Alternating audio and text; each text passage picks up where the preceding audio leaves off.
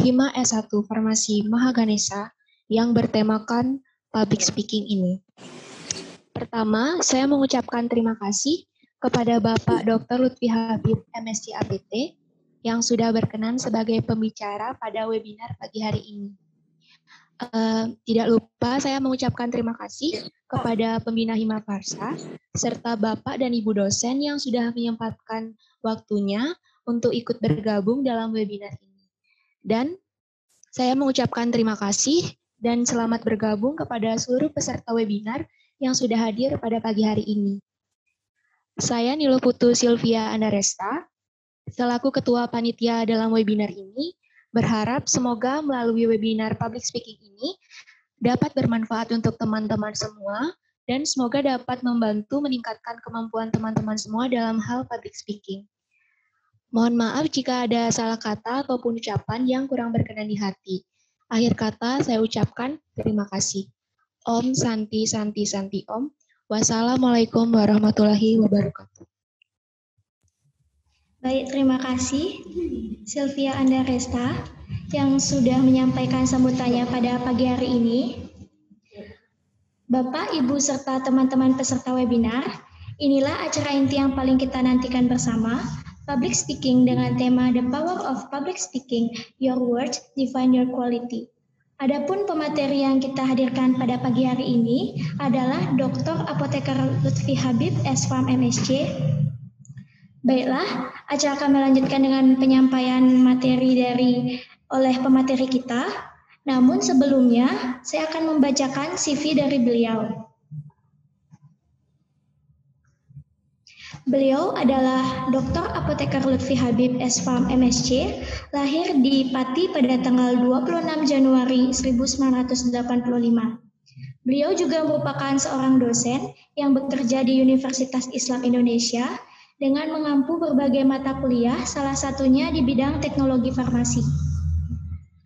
Untuk latar belakang pendidikan, pada tahun 2002 sampai 2006, beliau menempuh sarjana farmasi di Universitas Islam Indonesia.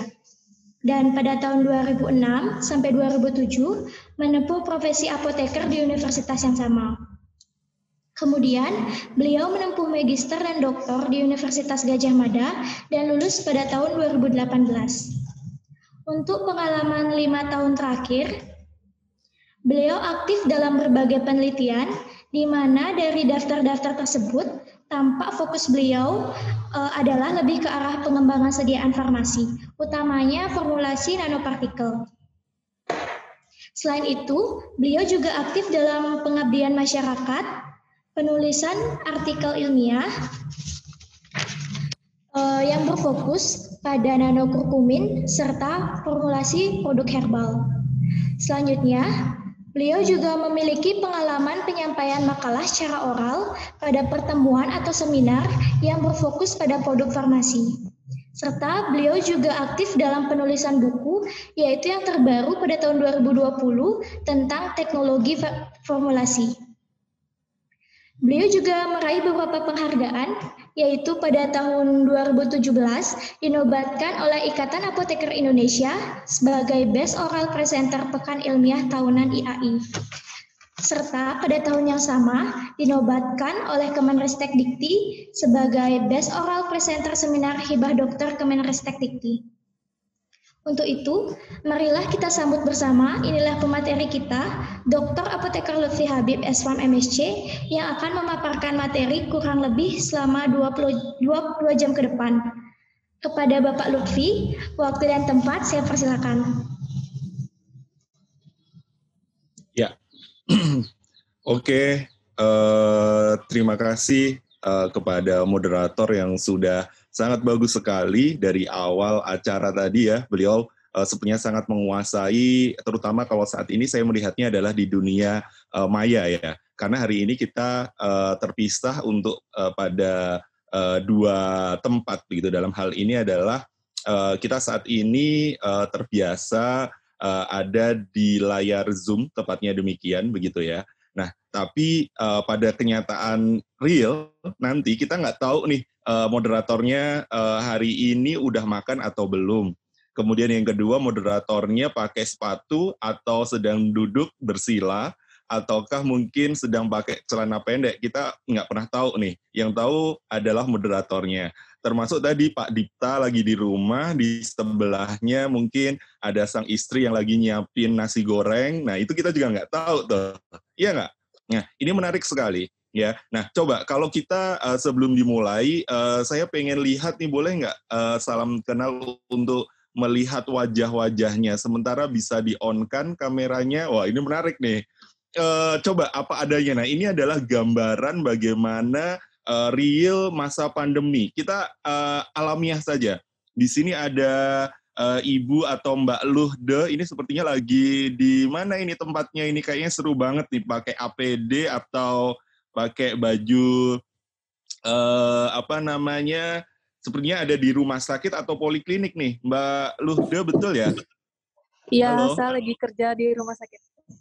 Wow, di mana rumah sakitnya? Di Surya Husada.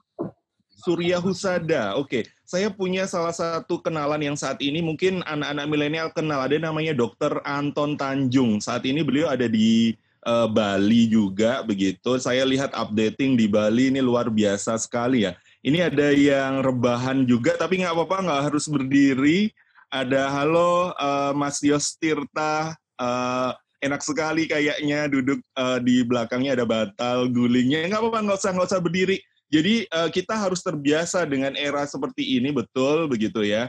Uh, dan juga ini ada yang uh, masih pakai singlet kayaknya, tapi nggak apa-apa. Seru. Pokoknya uh, kita nanti sambil santai, teman-teman sekalian, karena uh, apa? Karena uh, kita mungkin ada yang sebelahnya lagi nonton Netflix ya kayak saya uh, sekarang di iPad saya sebelah ada Netflix. Tadi saya cari-cari Netflix apa sih yang lagi disenengin sama anak milenial gitu. Mungkin Pak uh, Dipta uh, dan uh, Bu Dewa Ayu mungkin nggak nggak update tapi mahasiswanya nih sekarang udah uh, pada update mereka jadi anak yang amat keren banget begitu hari nanti saya tunjukkan ya bagaimana generasi bergerak dengan sangat cepat dan mau nggak mau suka nggak suka kita ada di posisi mana. Misal contoh hari ini saya adalah uh, kelahiran 85 tadi ya. Saya ada di generasi Z. Otomatis saat ini saya bertemu dengan teman-teman di generasi milenial terbaru. Tapi saya masih punya atasan yang mana notabene pemikirannya masih kolot, katakanlah demikian. Nah, makanya saya harus pandai-pandai menempatkan diri bagaimana berkomunikasi dengan yang ada uh, di uh, atas saya atau atasan saya dan juga saya masih bisa ngeblend dengan uh, mahasiswa seperti itu ya uh, oke okay. uh, sebelum ke sana uh, salam kenal untuk semuanya apabila ada bapak ibu dosen yang ikut bergabung uh, kita hari ini tepatnya sharing ya bapak ibu sekalian dan juga teman-teman mahasiswa ya ini beberapa sudah ada yang mengonkan uh, oke okay, nggak apa-apa mungkin nanti panitia pengen uh, apa namanya uh, foto bareng gitu ya. Nanti seru-seruan di belakang saja. Mungkin ada beberapa yang mungkin sedang beraktivitas nih saya lihat juga tadi ada yang pakai APD warna merah sekilas tadi ada di beberapa tempat. Hmm, menarik sekali ya. Ini Mbak Dian uh, Udayani. Ini kayaknya juga ada di apotik nih ya kayaknya ya. Betul Mbak Dian? Uh, unmute. Uh, iya iya. Ah, oke, okay, ya, oke. Okay. Mbak Dian sambil kerja nggak apa-apa ya. Saya iya. kebetulan uh, selain mengajar di UII, saya mengajar ada di Universitas uh, Merdeka yang ada di Palembang. Mereka hampir sebagian besar juga part-timer uh, kerja begitu ya. Mereka ada di rumah sakit, di klinik bahkan menariknya kalau teman-teman tahu beberapa mahasiswa saya yang ada di luar kota mereka sampai naik pohon. Kebayang nggak? Naik pohon untuk ngedapatin sinyal satu. Ada yang di tengah sawah karena sinyalnya susah sekali yang ada di Ogan Komering Ulu yang ada di Palembang, ada yang di Banyu Asin itu bahkan mereka harus standby di puskesmas, panas-panasan karena kuliahnya siang hari. Jadi di era pandemi ini kita harus kreatif ya. Satu kita harus kreatif dan nantinya teman-teman uh, mumpung Menteri Sri Mulyani belum ngasih pajak di Instagram ya, uh, silahkan bisa gunakan untuk berbisnis. Kebetulan saya mengajar ada uh, mata kuliah kewirausahaan farmasi. Next kita cerita bagaimana uh, kita bisa mengembangkan um, kosmetik ya. Kosmetik Indonesia itu keren banget. Tadi disebutin mungkin next saya akan saya minggu depan saya uh, ngisi dua event IAI untuk uh, penggunaan kosmetik di masa pandemi, kemudian bagaimana digital marketing untuk kosmetik. Wah itu menarik banget. Dan teman-teman semuanya bisa dari rumah, bisa jadi entrepreneur, Anda nggak perlu harus jadi PNS, karena PNS itu adalah cita-cita uh, saya dulu, zaman uh, bahla. Ya, cita-cita nenek Anda, ibu Anda itu PNS, tapi Anda harus jadi entrepreneur semuanya. Ya, Nah, di Bali apalagi, wah keren banget itu sudah Anda di depan mata tuh pangsa pasarnya. Uh, ya, jadi nggak mau kalah. Kalau hari ini Anda nggak perlu minder dengan mereka yang ada di Oxford, ada di Harvard, ataupun Udayana. Wah, lewat deh pokoknya. Dunia hari ini ada di genggaman Anda. ya. Uh, anda hari ini ada di uh, tempat yang tepat, tinggal bagaimana semua kembali kepada diri kita. Wah, ini intronya udah panjang nih. Oke, kita uh, lihat. Saya mohon uh, izin share screen ya. Ya, ya oke. Okay. Siap. Inilah kenyataan hari ini. Nah, mungkin teman-teman sering ketemu uh, sebentar.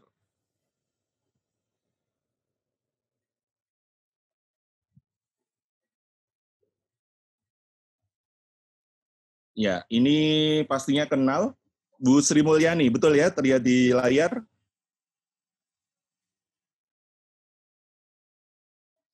Ya, ini adalah salah satu uh, menteri atau mereka yang berkancah di World Bank dan akhirnya kembali ke tanah air untuk membangun negerinya. Anda kalau melihat seorang Bu Sri Mulyani hari ini, uh, beliau harus berkomunikasi dengan semua orang. Kita lihat bagaimana cara komunikasi beliau.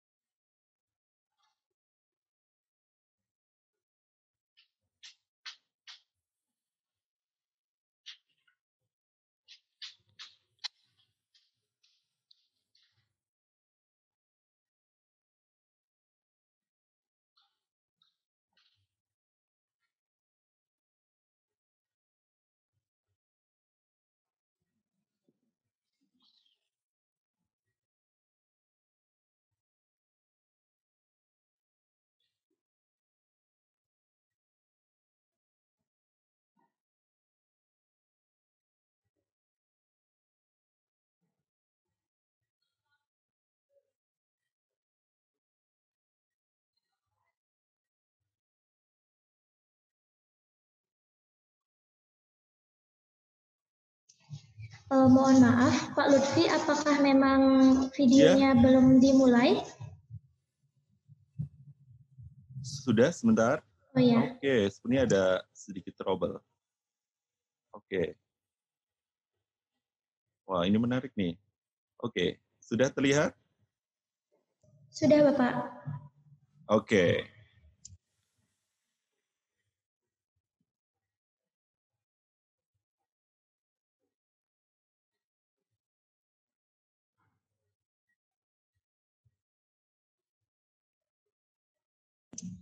Uh, maaf, Bapak untuk ya. video suara dari videonya belum kedengaran.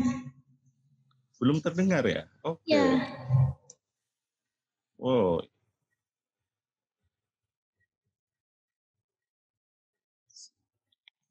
Sudah terdengar? Belum ya? Masih belum, Bapak. Sudah terdengar belum? Masih belum, Bapak. Oh, sudah, oke. Okay.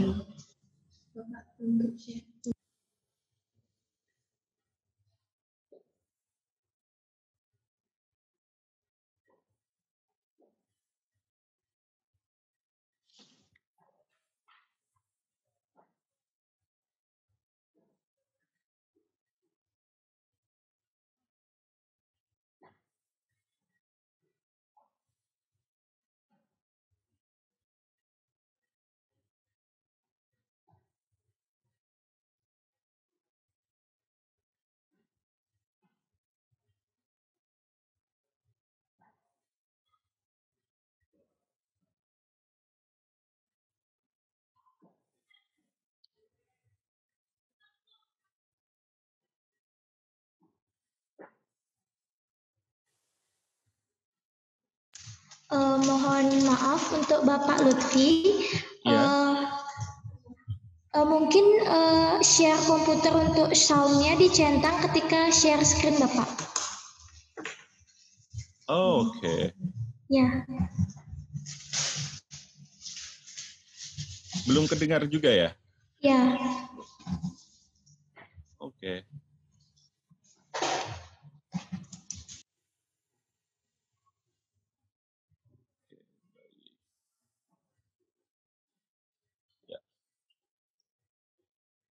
Oke, sebentar ya.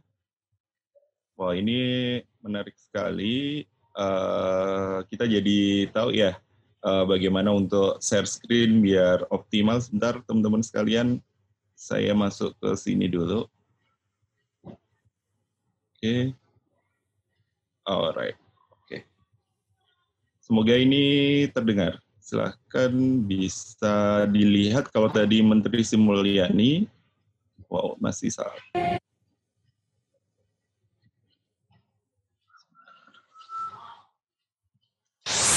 Sudah terdengar? Baik, terima kasih Bapak. Saya sudah masuk.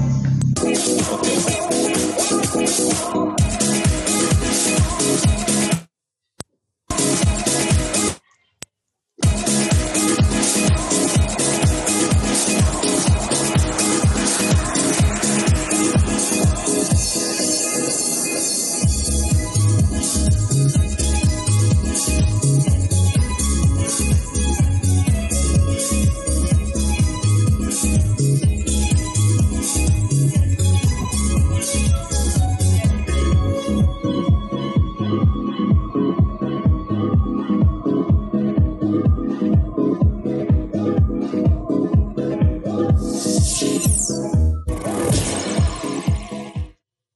Oke, okay.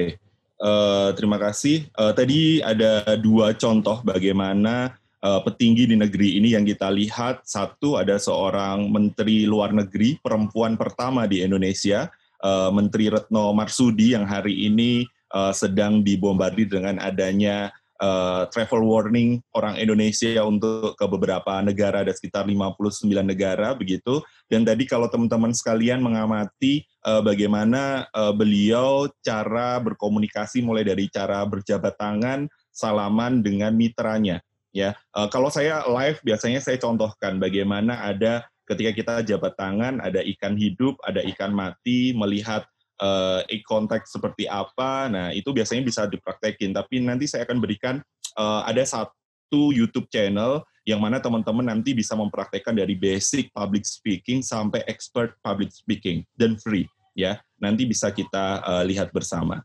Nah, baiklah uh, saya akan uh, share screen untuk materi pada hari ini ya. Oh ya, satu lagi ada yang mungkin bisa saya tampilkan ada video mungkin sebentar.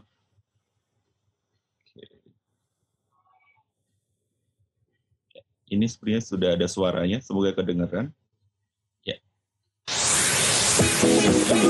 Oke, maaf. Oke.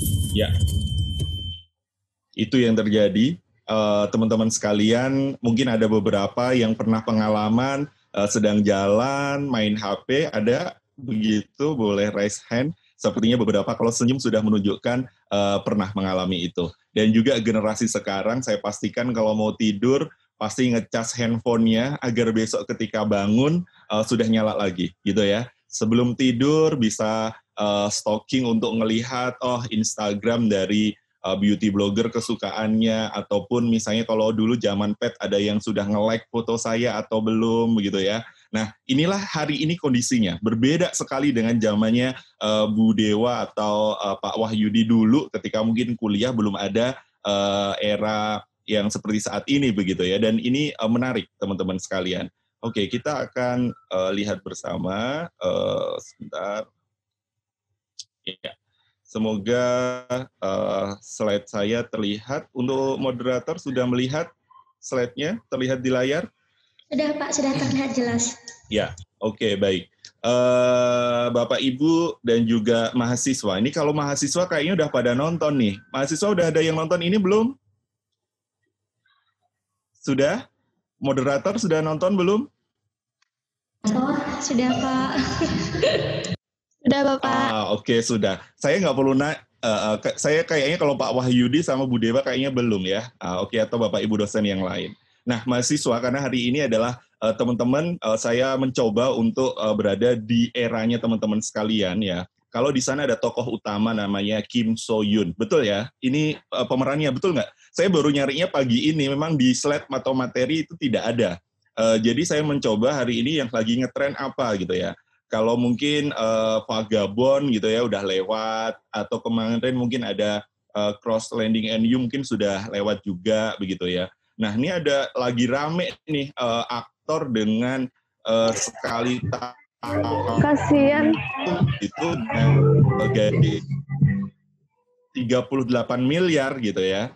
Nah, jadi uh, kita tidak pernah tahu bagaimana seseorang berjuang ya menjadi uh, hari ini orang melihatnya adalah keren begitu, tapi kita tidak pernah tahu bagaimana perjuangan dia. Seperti contoh uh, aktor yang saat ini um, sedang booming ya, uh, di mana menjadi aktor termahal di Korea ya. Ternyata jalan hidupnya juga tidak selalu mulus ya bahkan menjadi pekerja kasar begitu dan hidup menjadi uh, tanpa ayah pada saat masih balita ya dan ternyata uh, hingga benar-benar meninggalkan keluarganya ya dan bahkan dia dibesarkan oleh ibunya semenjak kecil dan kepribadian introvert. Nah, ini adalah salah satu uh, hal atau topik menarik pada uh, public speaking. Apakah kalau saya introvert, kira-kira saya bisa pinter ngomong nggak sih?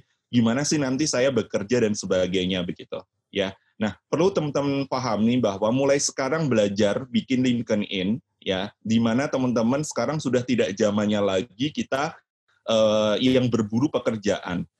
Usahakan uh, teman-teman yang ada di sini mulai bikin nih uh, jejak uh, record Anda, hal-hal atau kemampuan apa yang Anda miliki sehingga tanda kutip uh, bisa untuk dijual dan perusahaan akan uh, melamar Anda untuk bergabung di uh, tempat atau lokasi Anda bekerja. Termasuk tadi yang sudah bekerja, berarti Anda sudah memiliki uh, soft skill ataupun Anda sudah memiliki kemampuan yang lebih. Di mana hari ini teman-teman yang tadi sempat bekerja ada di garda terdepan pelayanan kesehatan, tinggal Anda bagaimana mengoptimalkan yang ada di sana, ya. Nah, walhasil dari tadi ya, uh, seorang yang introvert uh, mereka tidak terbiasa bersosialisasi, tapi Anda harus uh, mendobrak, Anda harus percaya diri begitu bagi beberapa teman-teman yang hari ini masuk kategori introvert. Dan seorang bintang aktor Korea yang terkenal ini, mereka juga soft skill bekerja di restoran freelance begitu, ya. Dan gaji pertamanya hanya cukup untuk membeli kaos kaki, kebayang nggak untuk ibunya? Nah, ini awal dari karir kerja di hiburan uh, seorang uh, Kim So Yoon begitu. Kalau saya uh, pronunciation-nya atau spelling-nya nggak benar uh, difahami ya karena uh, kebetulan ini tadi saya baru browsing pagi ini dan saya lihat uh, filmnya di Netflix begitu baru uh, satu episode dan sepertinya menarik begitu ya. Nah, uh, dan bahkan kemudian uh, dia memulainya tahun 2007 dan hari ini dia sudah membintangi beberapa uh, produk iklan begitu ya dan bahkan disebut sebagai pangeran iklan begitu ya. Dan yang terakhir tadi uh, dalam serial It's Okay Not Be uh, to Be Okay begitu ya, dia dibayar uh, 200 won bukan 200 juta ya, 200 juta rupiah bukan tapi 200 uh, juta won begitu ya per episode begitu. Dan inilah yang mana menjadikan revolusi digital ya teman-teman sekalian menjadi salah satu fenomena yang menarik hari ini ya perubahan teknologi yang mana uh, kita tahu bahwa uh, mungkin teman-teman ada beberapa di rumahnya mungkin di gudangnya ada uh, telepon rumah seperti ini ya. Dan juga mungkin masih punya uh, handphone yang seperti ini juga ada yang berwarna biru ini. Dan ini uh, adalah uh, gambaran bagaimana teknologi bergerak ya. Atau uh, katakanlah uh, perkembangan dengan sangat pesat. Mulai dari komputer, internet, uh, telepon seluler ya uh, termasuk bahkan hari ini teman-teman kalau bisa lihat ya jam tangan sekarang sudah kepada ke uh, apa namanya smart uh, apa uh, digital juga begitu di mana smartwatch uh, menjadi salah satu uh, apa genggaman yang ada di genggaman dari uh, para kaum uh, milenial. Teman-teman yang ada di sini belum pernah merasakan kalau zaman saya dulu praktikum masih menggunakan mesin ketik begitu ya. Sekarang sudah menggunakan komputer ya. Kemudian perpustakaan sekarang sudah tergantikan dengan uh, Skyhub atau mungkin ada yang suka uh, baca e-book begitu. Dulu surat Pak Pos sekarang sudah jarang kita temui, sudah berganti menjadi email begitu ya. Telepon tadi berubah menjadi telepon seluler. Nah, ini zaman saya masih ada uh, kaset, CD gitu ya. Jam analog sekarang berubah menjadi smartwatch yang seperti saya sampaikan tadi. Dan ini adalah manfaat teknologi digital uh, pastinya ketika kita bisa memanfaatkan dengan baik, nah ini akan mm, sangat optimal uh, bisa meningkatkan improvement diri uh, kita semua, ya, mendorong pertumbuhan usaha, memperbaiki pelayanan publik. Ada satu cerita seorang mm, Bu Risma ya, Bu Risma ini di Surabaya kebetulan dia sudah menjadi uh, e-city ya e-card city. Jadi di sana sudah mengembangkan bagaimana uh, smart city yang ada di Surabaya. Jadi kalau Bu Risma sedang ingin kunjungan ke suatu tempat, beliau tidak perlu harus pakai patwal polisi. Tapi di sana Bu Risma uh, memanfaatkan uh, IT, di mana beliau tinggal uh, buka iPad-nya, uh, traffic light mana yang nantinya akan beliau lewati, tinggal lampu hijaunya dilamain, atau lampu merahnya nantinya dicepetin. Jadi nantinya beliau dalam satu genggaman ya, beliau bisa melihat aktivitas masyarakat Surabaya yang ada uh, di sana. Nah ini contoh bagaimana pemanfaatan uh, digital media yang uh, sangat luar biasa ya. Mungkin teman-teman sekalian ada di sini ya, dalam artian adalah generasi digital ya, yang mana mungkin kalau saya masuk generasi imigran digital begitu ya, lahir sebelum uh, digital berkembang dengan sangat uh, pesat sekali. Identitas seseorang dilihat dari uh, sosial medianya. Mungkin dulu kita ada pet tapi sebenarnya sudah uh, hilang begitu tidak ada. Sekarang paling sebagian besar ada Instagram, ada Facebook, ada TikTok begitu ya. Nah, ini uh, menarik. Jadi uh, ciri generasi digital privasi ya dalam hal ini adalah generasi digital cenderung terbuka, belak-belakan ya bersifat agresif. Nah, uh, dalam hal-hal batasan kebebasan uh, berekspresi ya di generasi digital ini cenderung ingin memperoleh kebebasan. Mereka ingin memegang kontrol dan uh, internet menawarkan kebebasan berekspresi. Proses belajar mengajar sekarang uh, Anda bisa lihat ruang guru ya uh, sangat laris manis. Dulu Primagama, Neutron zaman uh, Bu Dewa atau Pak Wahyudi mungkin dulu lagi ngetren, tapi sekarang mereka sudah ditinggalkan dengan adanya platform uh, berbasis digital. Oke, siapa di uh, media ini yang belum pernah ketemu atau belum pernah memanfaatkan satu di antara beberapa platform sosial media? Untuk moderator, ada yang belum pernah? Oh, ini yang dipanggil yang moderator. Sudah pernah menggunakan semua? Untuk Ubernya belum, Pak. Uber belum ya? Eh, kira-kira uh, kalau saya survei nih, uh, bisa mewakili teman-temannya, kira-kira kalau dari prosentase 100% yang ada di sini, kalau yang nggak punya Instagram berapa persen, uh, moderator? Uh, sepersen kayak Pak, hampir rata semua mempunyai gitu ya? Instagram. Hampir ya. punya Instagram. Nah ini contoh ya. yang menarik. Kalau kita bisa petakan. Kalau mahasiswa masih seneng pakai line ya sepertinya ya daripada WhatsApp. Apakah uh, survei itu masih relevan? Misalnya untuk kegiatan-kegiatan atau uh, informasi-informasi, apakah lebih senang line kalau mahasiswa? Kalau untuk mahasiswa sendiri lebih banyak ke yang menggunakan WhatsApp karena lebih eh, dari dosen juga banyak penggunaan WhatsApp sehingga nanti ketika WhatsApp, ada kombinasi ya, ya hmm. lebih mudah jadinya seperti itu. Oke, baik.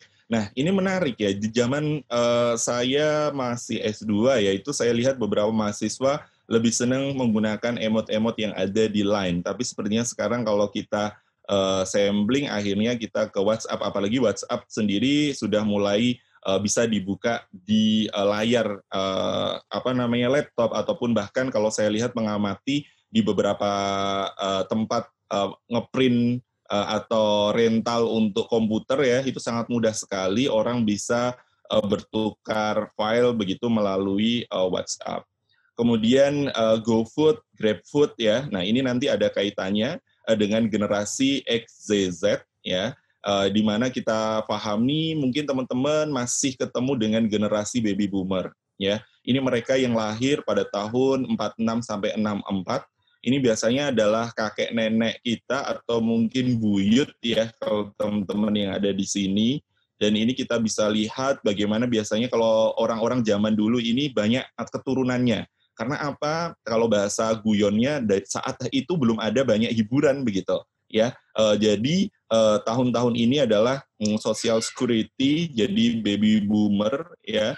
Dan ini menarik dan ini kita lihat kalau uh, distribusi penduduk yang ada di Jepang ini banyak sekali baby boomer yang ada di sana. Ya dan bahkan sekarang uh, mereka atau orang-orang yang ada di Jepang anak muda atau mereka yang masih produktif yang memiliki anak bahkan mendapatkan uh, reward dari pemerintah ya karena uh, masyarakat atau warga yang ada di Jepang mereka sangat workaholic sekali uh, sehingga untuk uh, meneruskan generasi atau mempunyai anak sangat uh, prosentasenya sangat kecil. Nah ini menarik. Kemudian teman-teman sekalian yang ada di sini nanti pasti akan berinteraksi dengan bapak ibu dosennya ya. Kalau mereka beliau yang lahir di tahun 65 sampai 80 ya, ini adalah mereka yang baru awal kenal uh, personal komputer, hiburannya video games, ya, TV kabel, ya, internet ini baru awal-awal. Dulu kalau di TV ada MTV. Kalau saya tanya ke mahasiswa hari ini, Anda pilih uh, WiFi di kos-kosannya atau di rumahnya atau pilih ada TV?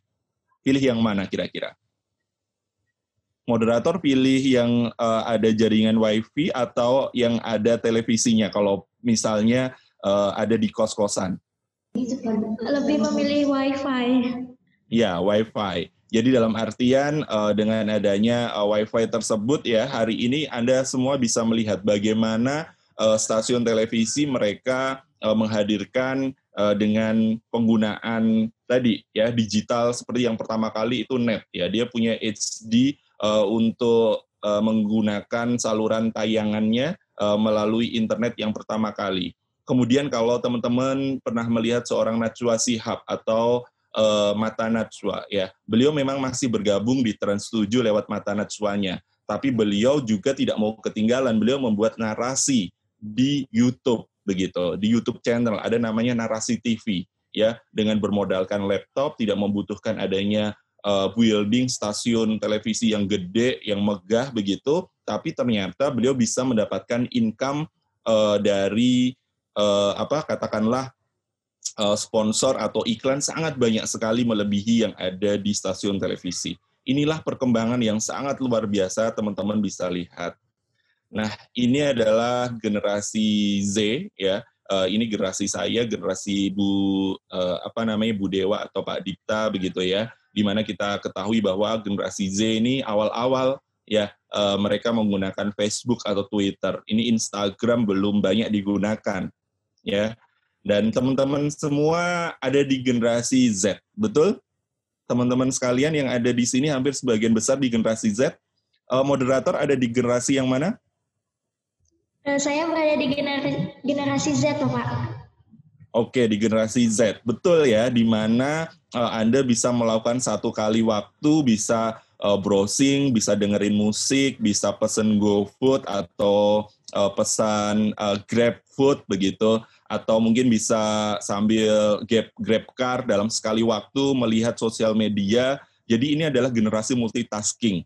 Keren banget generasi ini ya. Dan hampir sebagian besar hari ini Indonesia ya, lebih dari 50% adalah generasi ini, generasi Z ya. Maka dari itu 5 atau 10 tahun yang akan datang teman-teman yang ada di platform Yum hari ini uh, mungkin satu di antara Anda mungkin nanti ada yang jadi menteri pariwisata, akan menjadi uh, kepala badan POM ataupun bahkan presiden sekalipun kita tidak pernah tahu ya maka dari itu uh, teman-teman yang ada di sini dioptimalkan sebaik mungkin dalam artian adalah bagaimana hari ini dengan adanya uh, pandemi COVID kita sudah sangat terbiasa dengan adanya uh, online atau media online. Berarti dengan dari sana kita bisa membangun negeri ini, kita bisa membangun profesi ini ya.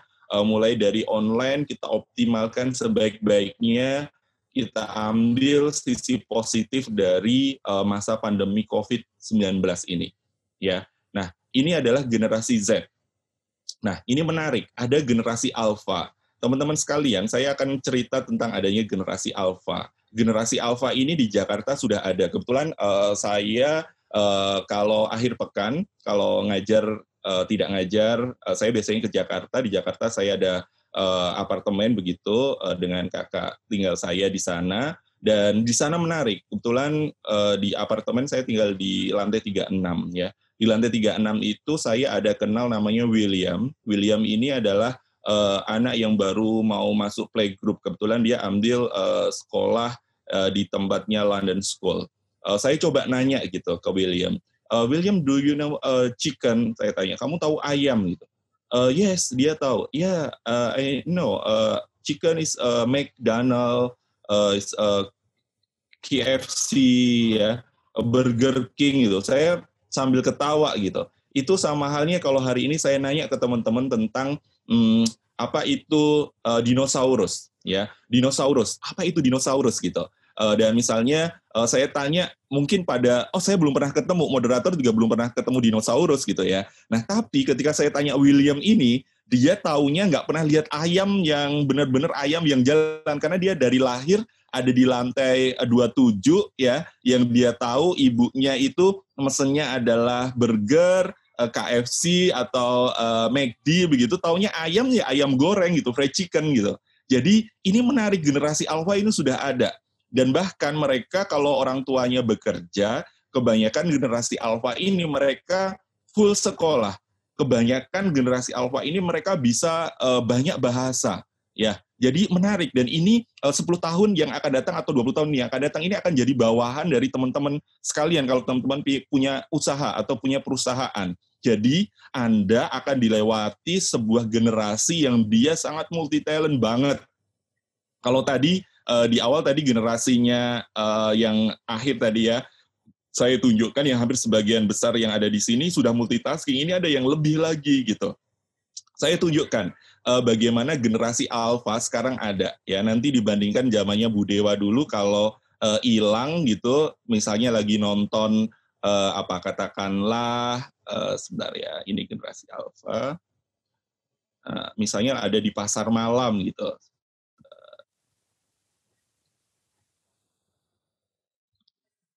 semoga kelihatan Dekat sama si kecil. Jadi Ya, ini bukan iklan ya. Bisa video call. Mama. Worry si kecil di mana? Tinggal klik lokasi, tenang deh. Wah. Cuma I mau watch pun yang bisa gini. Halo, Ma. Lagi apa? Main sepeda. Wow. di bawah berenang. Bisa. Halo. Seru kan?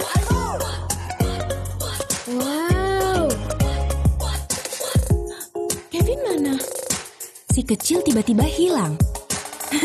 Easy. Temenan yuk. Itu dia. Pakai Aimo Watch Phone. Jadi gampang deh cari si kecil. Video Enko. Aimo Watch Phone. Ya, pernah sudah pernah lihat iklan itu? Sudah pernah lihat ya? Moderator sudah pernah lihat iklan itu? Kalau senyum-senyum sepertinya sudah. Dan itu adalah gambaran bagaimana kalau Bu Dewa dulu kalau lagi nonton pasar malam kalau hilang nggak dicari orang tuanya kalau belum pernah karena belum pakai ini gitu ya. Tapi sekarang eranya sudah berbeda.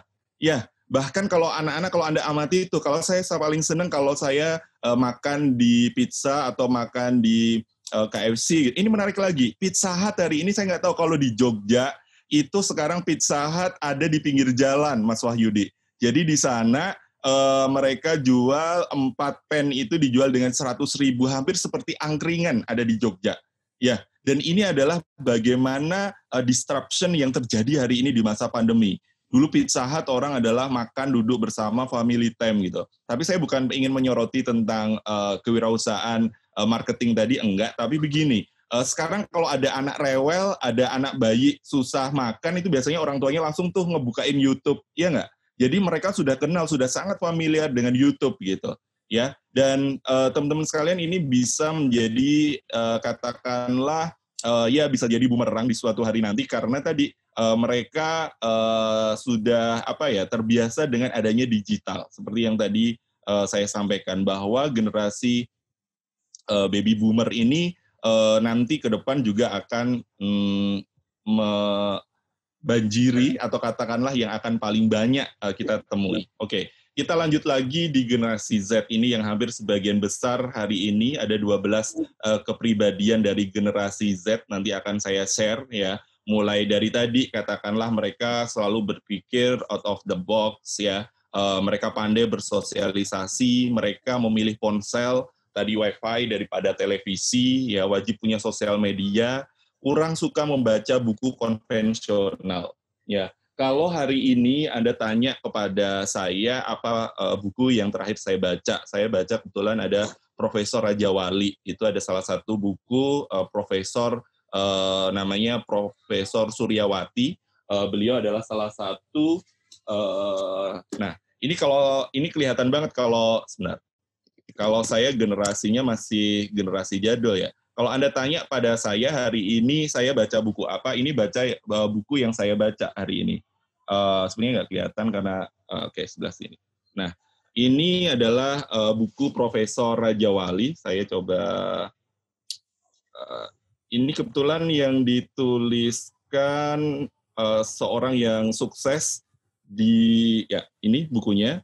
Uh, ini salah satu profesor uh, farmasi juga, beliau yang bekerja di WHO. Kebetulan beliau menjadi dosen di Fakultas Kedokteran UGM dan ini uh, bagaimana komunikasi uh, mahasiswanya uh, dari S1, S2 dan S3 yang dijadikan menjadi satu, bagaimana uh, cara beliau untuk um, bersosialisasi dengan uh, Profesor Raja Wali. Dan ini cukup bagus kalau misalnya teman-teman baca bagaimana nanti teman-teman bisa berkomunikasi agar nanti diberikan kelancaran ketika misalnya S2 atau S3. Jadi memang dirangkum menjadi satu buku.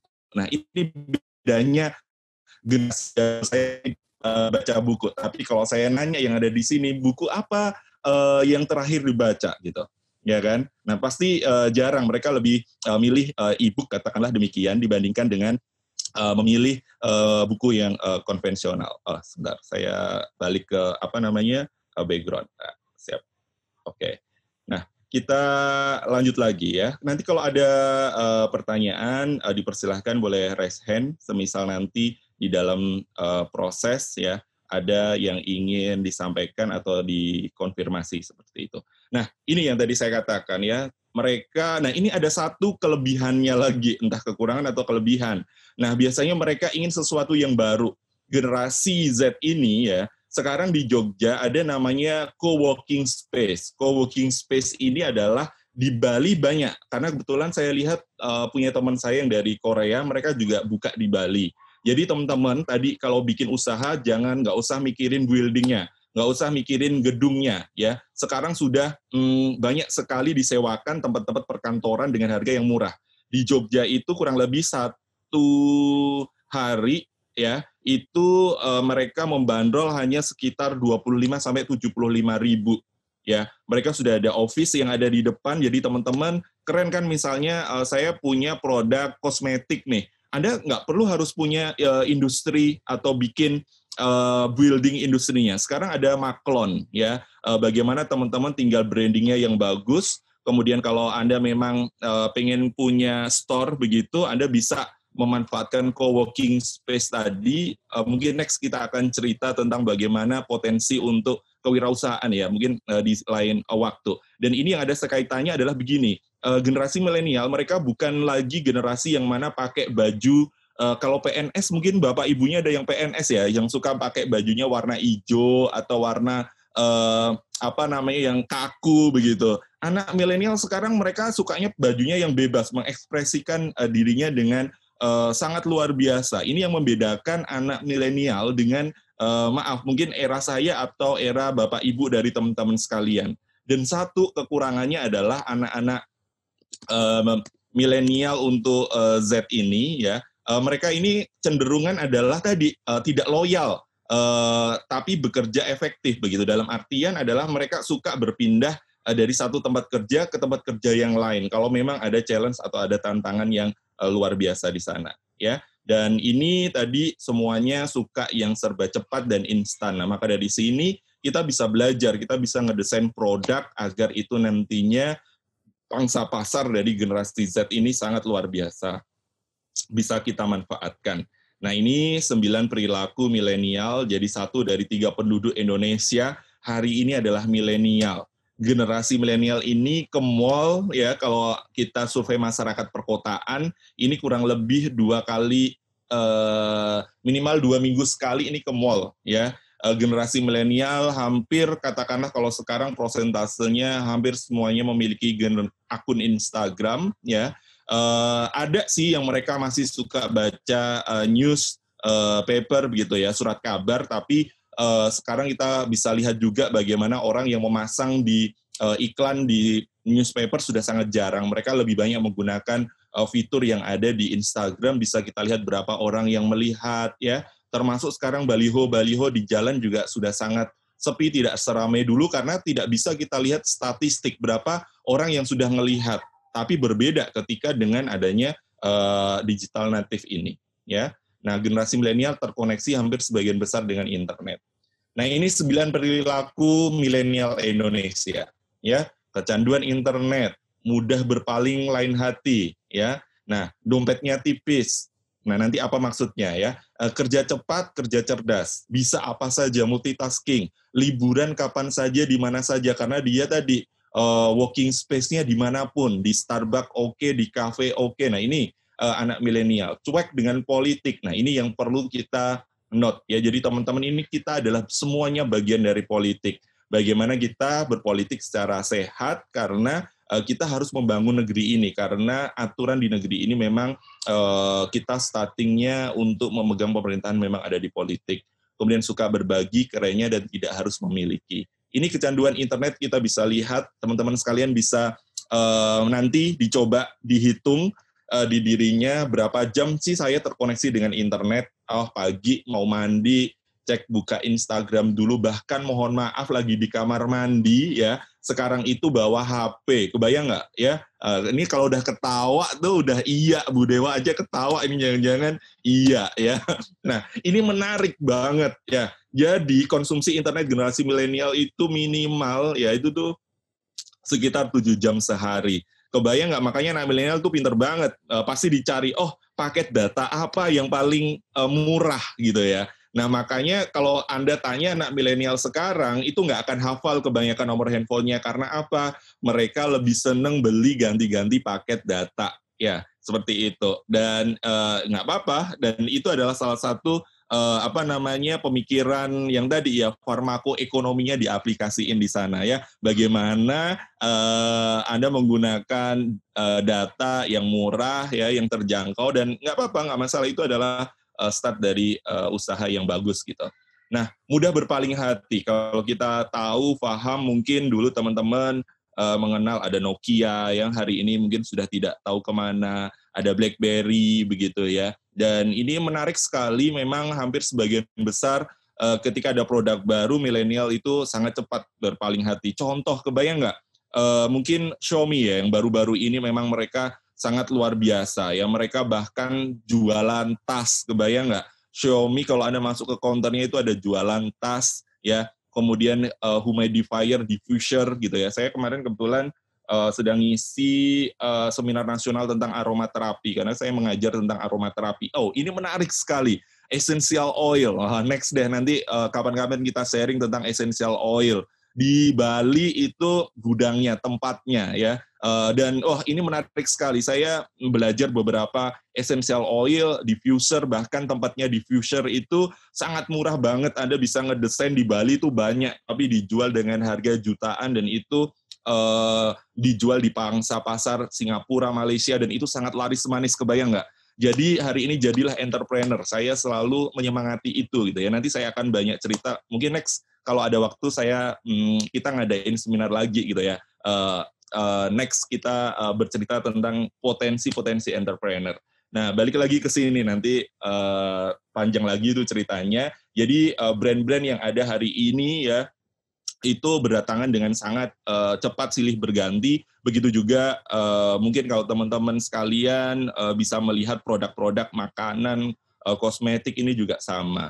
Dompet tipis maksudnya adalah bayarnya pakai GoPay, bayarnya pakai OVO, uh, Shopee Pay. Nah, ini ahli banget nih. Misalnya teman-teman sekarang nih kan suka belanja ya dicari bener ini promonya, ongkos kirimnya, ya kan? Nah, ini bagian dari ini. Nah, generasi milenial maksudnya dompetnya tipis itu uh, ada di Pay Later, ada di GoPay. Ya, maksud saya seperti itu. Makanya kalau Anda bikin dagangan ya sudah harus uh, menggunakan marketplace ya. Nah, ini menarik sekali dan itu free ya. Dan bahkan orang lebih percaya ke sana bisa di tracking lokasinya, tempatnya dan seterusnya ya kayaknya ini yang wajah-wajah Shopee kayaknya banyak di sini ya. Uh, biasa online, ongkos kirim gratis, apalagi 9 tren.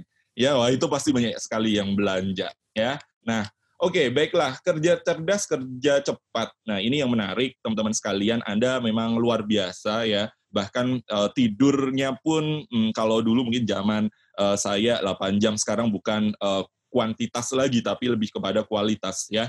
Jadi dalam artian milenial ini uh, mereka memang sangat antusias ya, uh, entrepreneursialnya, oportunistiknya sangat besar sekali. Jadi bagaimana generation in the workplace di mana pun ada bisa bekerja ini menarik sekali ya. Yang penting tadi ada headset ya, mereka ngedengerin musik. Nah itu uh, jadi mau nggak mau kita harus menyesuaikan. Makanya kalau uh, ada dosen yang masih kolot. Kadang gini sih, kalau saya uh, kebetulan kalau mahasiswa di kelas saya itu boleh datang telat ya. Uh, kemudian uh, tapi menariknya di awal itu telat, selanjutnya mereka nggak telat. Karena apa?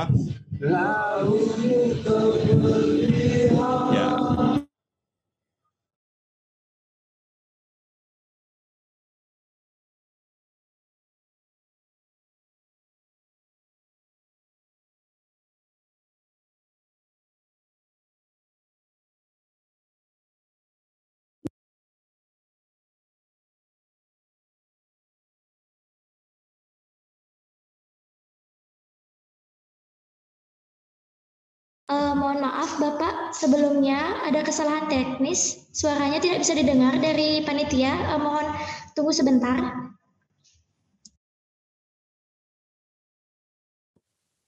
Halo, sudah kedengaran? Sudah Pak, sudah. Sudah. Oke, okay, oke, okay, baik. Oke, okay. nah ini menarik ya. Uh, jadi kalau misalnya teman-teman sekalian, saya sering menyampaikan, misalnya kalau ada mahasiswa saya di kelas, handphonenya bunyi gitu ya. Ataupun bahkan kalau misalnya ada mahasiswa yang uh, lagi ngangkat kaki, atau biasanya saya samperin, uh, mau minum teh atau mau minum kopi deh gitu ya. Nah itu gitu gitu. Kita nggak perlu marah karena uh, Bu Dewa, kalau hari ini kita marah ke mahasiswa, siap-siap tuh uh, ban motor atau ban mobilnya kempes ya. Maka dari itu lebih baik kita rangkul mereka. Ini bedanya kita berikan kepercayaan, kita berikan trust karena anak sekarang itu bisa jadi mereka lebih pintar daripada kita. Mereka menguasai bahasa tontonannya Netflix, Korea bisa bahasanya ya, bahasa Prancis bisa ya, bahasa Inggris oh jangan tanya mereka. Jadi kita itu sebenarnya hanya jadi tool ya. Nah, tapi sayangnya membuka mindset seperti ini untuk generasi yang old, yang tua itu sangat susah gitu ya. Apalagi kalau mungkin uh, Mbak Dewa, Mas Wahyudi yang dari UGM itu sepuh-sepuh ya,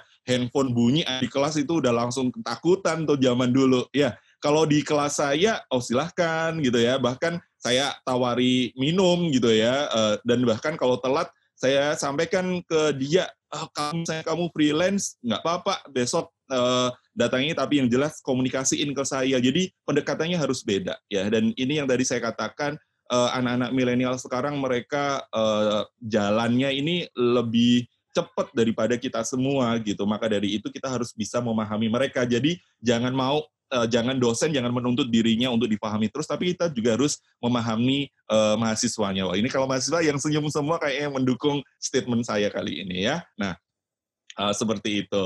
Nah, oke, okay, baiklah.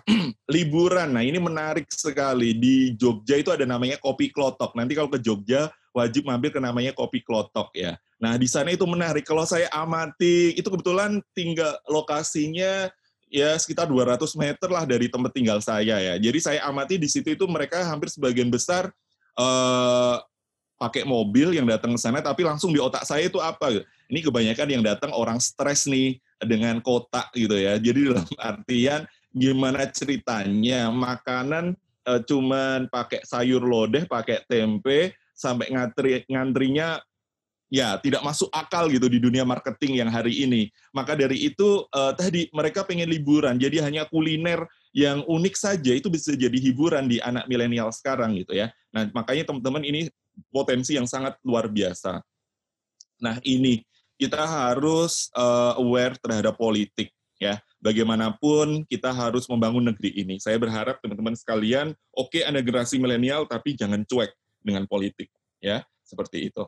Oke, nah selanjutnya uh, adalah tadi mahasiswanya, uh, sorry, anak milenial suka berbagi, suka sharing foto maksudnya ya. Jadi Anda kan suka tuh nge-share foto gitu ya, uh, makan di mana, Anda nanti bisa amati deh sebelum makan di foto dulu gitu ya, di-share dulu. Nah ini adalah maksudnya adalah suka berbagi dan ini generasi uh, milenial yang sungguh luar biasa. Nah ini yang menarik tidak harus memiliki, tidak harus memiliki itu karena kalau zaman saya Bu Dewa, Pak uh, Dipta dulu kita kalau dosen harus uh, nyicil mobil gitu ya. Kalau mahasiswa sekarang nggak bakalan mikir itu. Ah, udah deh pakai GrabFood beres atau GrabCar beres atau GoRed beres gitu kan. Nah itu maksudnya yang tidak harus memiliki termasuk mereka lebih senang tadi menyewa apartemen yang simpel karena mereka hanya tidur kebanyakan pindah dari satu tempat kerja ke tempat kerja yang lain ya. Nah ini kemudian nah ini Uh, saya yakin kalau Pak Dipta dan ibu-ibu, bapak, ibu dosen yang lain di sebelah kiri yang uh, di sini pasti pernah ngalami hujan-hujan, main di sawah gitu ya. Nah ini kalau William tadi yang saya cerita di apartemen saya nggak bakalan ketemu sama kayak gini. Ayam aja mereka nggak ngerti ya ayam yang wek wek wek itu yang benar-benar ketika saya bilang William uh, please uh, you see uh, uh, my phone gitu ya. Saya tunjukkan itu ayam dia itu takjub banget lihat ayam gitu. Karena apa? Dia nggak pernah lihat ayam hidup yang mana uh, yang teman-teman mungkin di pekarangan di tetangganya masih punya ayam gitu ya. Mungkin saya apalagi di belakang rumah saya ini banyak ayam. Nah, tapi William yang mereka tinggal di megapolitan, hari ini mereka tidak ketemu ayam, apalagi main seperti ini. Ini adalah perubahan yang terjadi hari ini ya perubahan sosial. Termasuk tadi kalau yang begini nih kolot ya bajunya gitu ya. Nah, kalau yang ini nih yang keren gitu. Nah, ini adalah perubahan yang terjadi hari ini. Nah, ini yang ada. Coba amati yang tadi. Coba kalau Anda katanya family time, ya, uh, ketemu dengan keluarga yang ada apa? Bapaknya pakai uh, tablet, anaknya pakai laptop, ibunya pakai game dan sebagainya atau saling tukar, mereka hidup di dunianya masing-masing family time macam apa seperti ini ya. Nah, maka dari itu coba Anda bisa amati di kanan kiri teman-teman sekalian ya. Yang dulu mungkin kita berdoa dulu sebelum makan seperti itu ya. Nah, dulu kalau Pak Wahyudi eh, main bola dikejar-kejar ibunya ya disuruh pulang di tahun 96 tapi kalau 2016 anak-anak itu gimana caranya biar keluar dari rumah diseret sama bapak ibunya agar gak main PlayStation terus di dalam rumah biar uh, apa namanya berjemur kena matahari ya. Nah ini kondisi yang ada. Bagaimana di sini uh, balik lagi ke jaringan WiFi ya, baterai. Nah ini menarik dan ini real ada hari ini ya. Dan pastinya tadi uh, apakah uh, kita harus selalu berpikir positif ya. Apakah uh, nanti ketika teman-teman hari ini banyak sekali kejahatan-kejahatan di dunia maya ya. Jadi kita harus hati-hati. Oh ya satu lagi, teman-teman kalau memang ingin bergabung menjadi PNS, hari ini sekarang sudah ada digital forensik. Oke, Anda boleh mengkritik negara, Anda boleh mengkritik pemerintah, tapi uh, saya berharap teman-teman menuliskannya dengan santun, ya. Karena apa? Nanti teman-teman akan di treasure dan itu meskipun sudah dihapus uh, Instagramnya atau uh, Twitternya atau Facebooknya itu bisa dikembalikan lagi. Dan bahkan banyak sekali orang yang mereka yang gagal karena apa? Karena mereka men-share hujatan-hujatan kebencian ataupun uh, men-share uh, hoax seperti itu. Maka dari sekarang hati-hati dalam bersosial media ya. Itu catatan yang pertama. Jadi uh, saya berharap teman-teman nantinya cukup bijak memanfaatkan sosial media. Jadi sebelum di share dipikir terlebih dahulu. Karena ini nanti akan sangat uh, berbahaya ya. Jadi uh, siapa saja yang bisa baca postingan saya dan seterusnya. Nah itu harus diperhatikan. Ya oke. Okay. uh, masih kuat untuk dilanjutkan? Masih lanjut? Oke okay ya. Siap. Bagi yang masih bekerja boleh sambil makan dulu, minum. Tadi Pak Dripta udah minum, ya. Uh, silahkan uh, bisa dimakan. Uh, oh iya bener, di kelas saya itu boleh makan loh, bener. Di kelas saya itu boleh makan, boleh minum, ya telat itu boleh. Ya nilainya itu hanya ada A dan A minus. Wah enak banget loh di kelas saya itu. Kalau di perkuliahan, oh ini Pak Dewa dan Pak Dipta, waduh ini kompor nih katanya. Enggak, enggak. Uh, jadi dalam artian, tapi saya tetap menjaga kualitas. Hampir sebagian besar mahasiswa saya itu nggak pernah telat. Saya selalu bilang bahwa ada satu kejadian uh, terbesar di Jepang. Kereta tercepat itu Shinkansen, ada di Jepang. Dan di sana ada satu kesalahan terbesarnya adalah, oh sorry, dua. Yakni telat tiga detik dan kecepatan tiga detik. Jadi di Jepang itu kecepatan datang kalau ada janjian itu juga merupakan kesalahan. Jadi termasuk apalagi kalau telat ya dan bahkan itu eh, apa namanya suatu eksiden yang buruk ya. Maka dari itu eh, saya tetap selalu bilang uh, on time ya uh, termasuk ketika kita ada di kelas apa pun itu itu orang akan bisa lebih respect ya. Tapi saya tetap menanamkan sisi itu meskipun kadang saya masih uh, memberikan space yang longgar kepada mahasiswa ya. Tapi jangan khawatir saya uh, tetap kedisiplinan ya tapi dengan cara-cara yang uh, soft gitu ya. Nah, ini dia uh, seorang Baharudin Yusuf Habibi. Kalau Anda melihat N250 yang kemarin Gatot Kaca dalam sejarah tahun 97 kita pernah memproduksi pesawat di PT DI yang hari ini tidak dilanjutkan lagi ya dan akhirnya dikirim ke Jogja. Saya kemarin nonton uh, pertama kali karya anak bangsa. Nanti kalau ke Jogja jangan lupa ke museum. Nah museum ini nggak paling nggak disukai sama anak-anak milenial ya. Padahal di sanalah uh, sejarah perjalanan itu ada gitu ya. Beda kalau teman-teman uh, ke luar negeri. Nah, mulai dari sekarang mulai dihitung ya. Kalau saya uh, biasanya kalau saya tidur, uh, saya tidur biasanya jam 12 uh, karena saya musim saya jam 3 bangun ya. Uh, saya biasanya tidur sama meskipun saya bukan milenial banget tapi tadi kualitas ya. Uh, ya tidak kuantitas ya. Jadi dalam artian pagi tadi saya harus update ekonomi, politik, sosial, budaya, saya harus ngerti, saya harus uh, baca begitu teman-teman sekalian. Jadi teman-teman lah yang kita hanya bisa memotivasi Bapak Ibu dosen menghadirkan pembicara uh, hanya bisa memotivasi. Semua langkahnya tinggal kepada teman-teman mau segera bergerak atau tidak. Kalau bahasa saya, kalau saya ngasih pelatihan, eh Instagram kamu itu ngedatengin duit apa enggak? Kalau enggak, jangan diterus-terusin nggak selamanya kamu akan minta terus sama orang tua kamu. Lima tahun yang akan datang, kamu itu sudah harus memberi. Ya kan? Otomatis itu Instagram, itu handphone harus dikasih makan. Ya nggak? Nah, maka dari itu upayakan Instagram kamu itu bisa ngasilin duit, makanya kamu harus jadi entrepreneur. Oke? Okay? Nah, maka dari itu kebayang gini deh, Anda lihat nih uh, Instagramnya siapa? Yang lagi ini ngetren uh, ininya banyak si siapa sih namanya? Uh, it, kalau anak milenial sekarang siapa sih followernya uh, yang paling banyak? Siapa? Jati. Siapa? Tadi ada yang jawab tuh. Oke lah gini, uh, kalau generasi saya Princess Sahrini misal ya, yang sekarang jarang upload gitu ya Princess Syahrini itu ketika dia mau bikin konten itu tuh dipikirin mateng-mateng agar uh, fansnya atau yang ngefollow itu nggak uh, apa nggak bosan. Itu cara bikinnya itu lama banget loh. Maka dari itu dia berpikir gimana Instagram saya jualan peyek itu dijual tahu nggak ya peyek ya peyek kacang itu ibunya itu jualan satu toples 400 ribu itu laris manis. Tapi yang masarin Syahrini, kebayang nggak? Nah, kita harus bisa ngedesain value seperti itu. Misal ada farmasi, saya belum menemuin loh yang beauty blogger yang mana dia mengupas sisi dari farmasinya. Ya, bagaimana dari setiap ingredients uh, structure uh, rumus struktur molekulnya nanti ketika dia ketemu dengan epidermis layer kita itu seperti apa? Ketika dia menghidrasi kulit itu uh, apa namanya metodenya seperti apa? Itu belum ada kebanyakan itu mereka background pendidikannya nggak farmasi nggak kedokteran tapi mereka followernya banyak banget Ya, ini contoh gitu. Maka dari itu sebisa mungkin ya tadi vlog atau yang lain itu bisa ngedatengin duit ya. Nah, ini kalau saya dari sisi entrepreneur. Oke. Nah, ini dia uh, bedanya antara generasi ke generasi yang uh, mana kita ketahui kalau zaman dulu ada write me, kamu harus bisa membaca saya gitu ya. Call me, email me. Kalau sekarang ada chat me gitu ya. Nah, jadi ini dari generasi ke generasi uh, berubah atau uh, berbeda ya.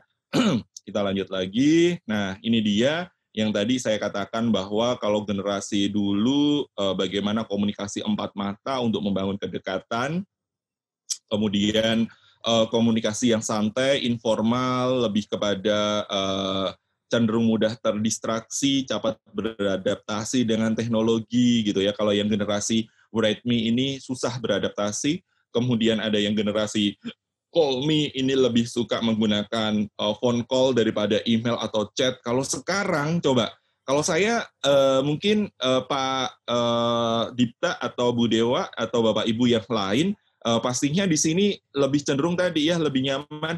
Uh, mohon maaf Ibu Bapak bila berkenan saya ingin menghubungi apakah diperkenankan. Bahkan mahasiswa sekarang sudah langsung nih nelponnya pakai WA ya. Maka dari itu generasi chat me ini menarik sekali ya. Jadi banyak berkomunikasi dengan aktivitas menggunakan uh, media sosial. Tapi kalau balik lagi kepada tadi ya mahasiswa yang mana uh, mereka uh, katakanlah uh, apa dosennya yang masih uh, ready tadi uh, beliau pasti ah kamu nggak sopan kenapa kamu menghubungi saya lewat chat malam-malam dan sebagainya. Nah tapi balik lagi teman-teman ketika anda bisa memposisikan diri orang yang mau saya ajak bicara ini adalah generasi apa gitu ya? Polos. Ya. Wah, ini kayaknya lagi beli makanan di pasar ini. ya, nggak apa-apa lagi parkir. Silahkan. Oke, kita lanjutkan ya. Nah, ini. Nah, ini uh, ketika Anda sudah diminta untuk uh, berbicara di depan umum. Ya, maaf saya nggak bisa bicara. Kenapa demikian? Berdasarkan hasil survei, ternyata urutan ketakutan seseorang yang pertama adalah berbicara di depan umum. Ketinggian, ya, elevator, ya, atau bahkan dikejar anjing itu ada di urutan ke-12. Jadi memang betul e, berbicara di depan umum berbeda. Tapi sekarang ada menarik lagi. Ada orang yang di depan layar atau seorang vlogger ya, kayaknya mereka asik nih ketika mereka YouTuber. Tapi ketika mereka ada di dunia nyata berbeda itu juga harus akan kita temui generasi-generasi uh, distraksi ya yang mana dunia maya dan dunia nyata berbeda. Tidak hanya orang Indonesia, orang Amerika pun ya uh, mereka juga 75% uh, rakyat Amerika juga takut berbicara di depan umum. Jadi teman-teman sekalian yang ada di sini tadi katakanlah nanti kalau Anda sudah masa pandemi berakhir, kemampuan komunikasi ini adalah urutan yang pertama dan indeks prestasi kumulatif ya kualitas sukses seseorang itu di urutan ke-17. Tapi jangan jadi ini ya, wah santai dong saya IPK-nya kurang dari tiga itu mah urutan ke-17, jangan juga gitu ya. Tapi tetap uh, administratif sekarang uh, dilihatnya adalah dari indeks uh, prestasi. Tapi tadi yang pertama adalah kemampuan soft skill, kemampuan berkomunikasi. ya. Jadi teman-teman sekalian, uh, apa sih dasar konsep dari komunikasi? ya kita mengenal komunikasi ada dalam bentuk nyata, yakni verbal, non-verbal, ya. Kemudian ada komunikasi personal atau komunikasi publik. Nah, kemudian nanti kita akan lihat komunikasi uh, di uh, dunia maya, ya, baik itu suara. Sekarang kan orang lebih senang uh, pengen lagi nyetir, uh, direkam akhirnya, ya. Uh, kemudian ada tulisan, ada gambar, ada video, ada beberapa topik-topik uh, yang nantinya bisa disajikan dengan sangat uh, leluasa di sana. Nah, kemudian apa itu uh, kegiatan public speaking? Ini tidak akan jauh-jauh, teman-teman mau nggak mau, suka nggak suka pasti akan ngomong. Even itu ada di YouTube, atau sorry, ada di Zoom, Misalnya Anda mau maju nih sidang presentasi uh, untuk tugas di hadapan dosen, minimal itu. Atau kalau nggak proposal penelitian, pasti mau nggak mau suka nggak suka Anda akan berbicara di depan umum. Ya, ini adalah penyampaian pesan, ya, ide, gagasan, ya, secara oral, secara lisan, ya. Dalam hal ini adalah bentuk komunikasi di mana seorang pembicara menghadapi pendengar dalam jumlah yang relatif besar dan diharapkan ada feedback. Saya tunjukkan ada uh, satu video lagi yang ini nantinya teman-teman bisa uh, lihat. Bentar ya. Saya close dulu. Oke. Nah. Oke, Anda bisa lihat Anda ada di bagian yang mana ya nanti. Oke, okay,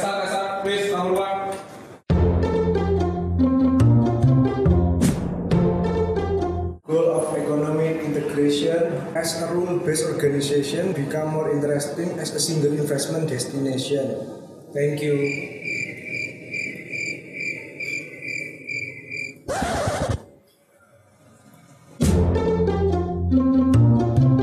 Huge market, 6 to 2 million people in 2014. AEC was collectively third largest economy in Asia, seven largest in the world.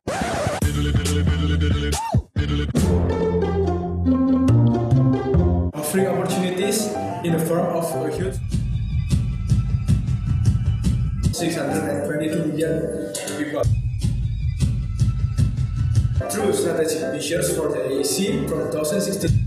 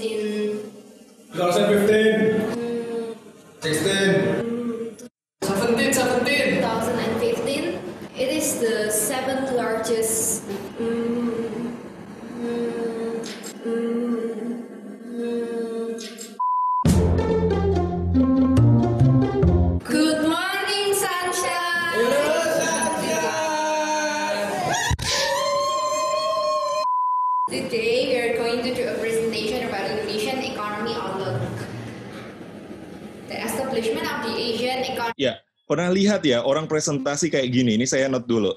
Uh, ceritanya tentang Indonesian Economy Outlook, tapi di sini Hello Kitty yang muncul. Ya nggak? Karena apa? Karena dia ngefans nama Hello Kitty. Belum lagi saya pernah lihat seorang uh, profesor ya, yang mana beliau uh, cerita tentang bagaimana hari itu profesor pembangunan, tapi di belakang sini tuh bunga mawar, bunga melati. Karena apa sih ibu profesor ini ternyata dia suka bunga-bungaan. Nah, tapi nggak ada matchingnya antara yang dipresentasikan uh, topiknya dengan animasi yang ada. Nah, ini sering sekali saya temukan. Ya, maka dari itu nanti saya tunjukkan bagaimana 10 dosa besar dalam membuat PowerPoint. Ya, apa saja. Ya, tadi kan sudah dilihat tuh mulai dari yang copy paste gitu ya, orang sampai melihatnya yang mana nih yang mau disampaikan gitu ya. Nah, itu juga bagian dari uh, tool dalam public speaking. Saya selesaikan dulu video ini.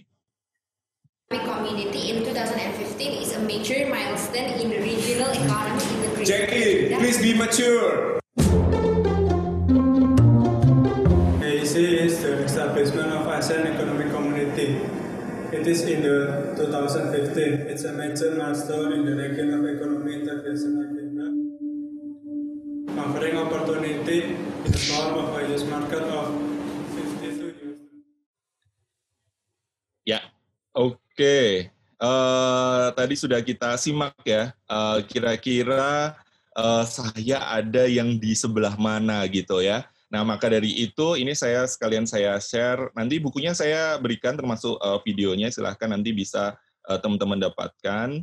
Uh, ini ada buku ya, buku tentang uh, 10 kesalahan fatal ya, desain slide presentasi ya. Dan ini uh, cukup ringan ya. Uh, jadi misalnya yang pertama tadi, pernah nggak Anda ketemu dengan slide yang seperti ini? Pernah ya? Jadi warnanya uh, kemudian bagaimana tadi apa terlalu banyak teks yang ada ya. Kemudian ini ketika dia menampilkan suatu data ya uh, seperti ini kurang menarik warnanya tidak terlihat kalau Anda bisa lihat yang ada gambar sayur mayur ini ya.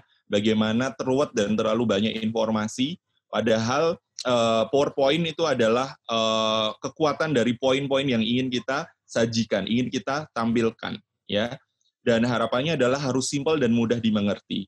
Kemudian ketika teman-teman sekalian menampilkan sebuah tabel atau grafik, eh, satu hal yang perlu saya sampaikan bahwa teman-teman nanti misalnya dalam skripsi atau menyelesaikan tugas akhir diminta bikin poster misal. Ketika kita membuat poster itu lebih banyak tabel ataupun gambar yang mana title atau judul orang sekali lihat itu sudah harus bisa lihat SPOK-nya. Makanya kita harus belajar lagi eh, SPOK yang jelas agar apa? Ketika kita lihat suatu gambar, kita akan bisa melihat, oh ini adalah gambar ini, keterangannya ini. Jadi kita tidak perlu harus mm, baca detail semuanya, ya. Nah ini adalah grafik dan tabel tulisan yang tidak terbaca. Jadi Anda harus hati-hati dalam menyajikan, ya. Kelihatan nggak angka-angkanya? Nggak kelihatan, ya. E, melihat setnya saja sudah bikin gelisah gitu ya. Lihat slide seperti ini. Nah, maka dari itu eh, teman-teman mulai belajar dengan MS Excel itu bisa dioptimalkan. Saya pernah ada pengalaman saat saya eh, beberapa seminar waktu yang lalu di luar negeri. Kebetulan eh, saya di laptop saya ini ada banyak sekali aplikasi. Ketika orang luar melihat punya saya, mereka kaget. Oh, banyak sekali aplikasi di laptop kamu pasti kamu kaget gitu. Anda nggak tahu ya di Indonesia itu aplikasi dengan sangat murah kita bisa dapatkan gitu ya. Dan bahkan uh, maaf uh, uh, lisensinya bukan asli gitu. Saya mohon maaf. Uh, dan akhirnya saya katakan uh, mereka mengoptimalkan PowerPoint saja ya PPT ya uh, atau Microsoft PowerPoint saja itu kita bisa banyak melakukan banyak hal termasuk teman-teman kamu bikin video, mau bikin poster itu dari PowerPoint itu bisa banget ya termasuk tadi kenyataan uh, teman-teman dari MS Excel ini kita bisa eksplor banyak hal di sana. Maka dari itu uh, teman-teman sekalian kita harus uh, bisa mengoptimalkan tadi ya soft skill kita untuk menggunakan software ini sangat penting. Nah, ini Anda bisa lihat slide penuh dekorasi yang tidak diperlukan.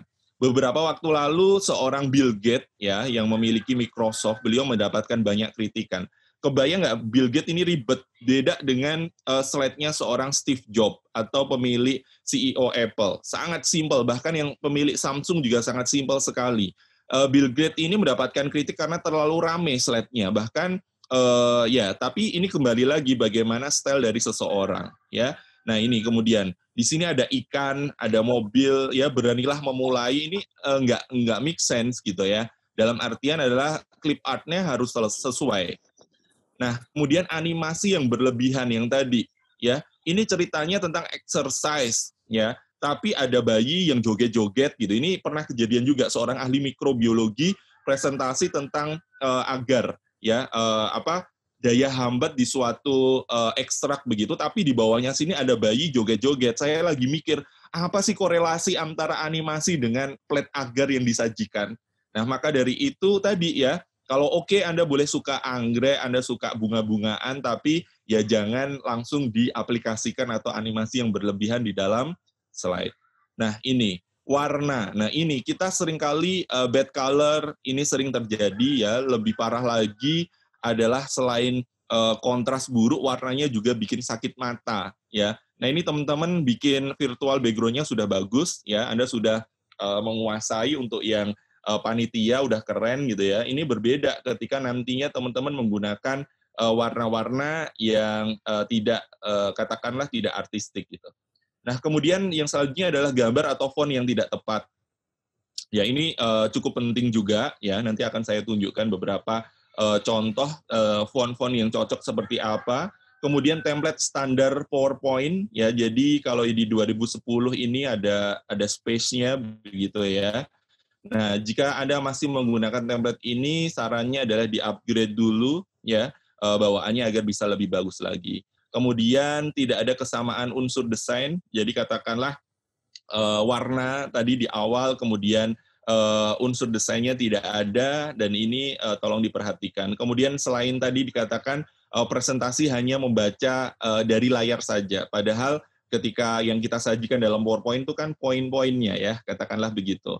Jadi teman-teman sekalian nantinya bisa uh, lebih uh, apa mengeksplor lagi dari PowerPoint agar uh, 10 dosa besar atau kesalahan fatal ini bisa uh, kita hindari ya seperti itu. Oke, karena waktu saya masih setengah jam lagi ya, betul ya Ibu moderator? Uh, lagi satu jam Bapak. Oh, mas. Oke, okay. oh, oh. Yeah. kalau itu saya satu lagi. Ini biar lengkap. Sebentar, saya buka dulu. Kemarin kebetulan saya habis ngisi di ban PT 10.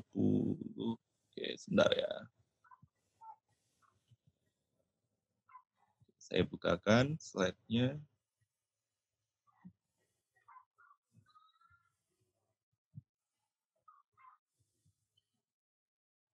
Uh, di layar sudah terlihat? Uh, belum, belum terlihat. Oke, okay, baik. Sebentar. share screen. Oke.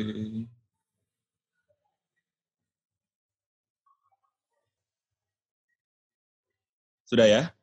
Nah, ini saya ingin menunjukkan, nah, seperti ini ya. Uh, jadi presentasi ini sangat penting. Jadi ini adalah uh, pertukaran informasi. Uh, sudah terlihat ya uh, untuk slide-nya di layar? Sudah, oke okay, baik. Sudah, Bapak. Nah, ini adalah informasi yang mana uh, teman-teman tadi sebelumnya sudah ada di video sebenarnya bagaimana kita seorang presenter akan berinteraksi dengan seorang audiens baik secara langsung atau tidak langsung tidak langsung katakanlah uh, dengan menggunakan uh, platform Zoom atau Webex ya atau Google Meet gitu. Nah ini uh, adalah beberapa kesalahan yang sering terjadi yang mana Eh, kita di awal harus menetapkan tujuan.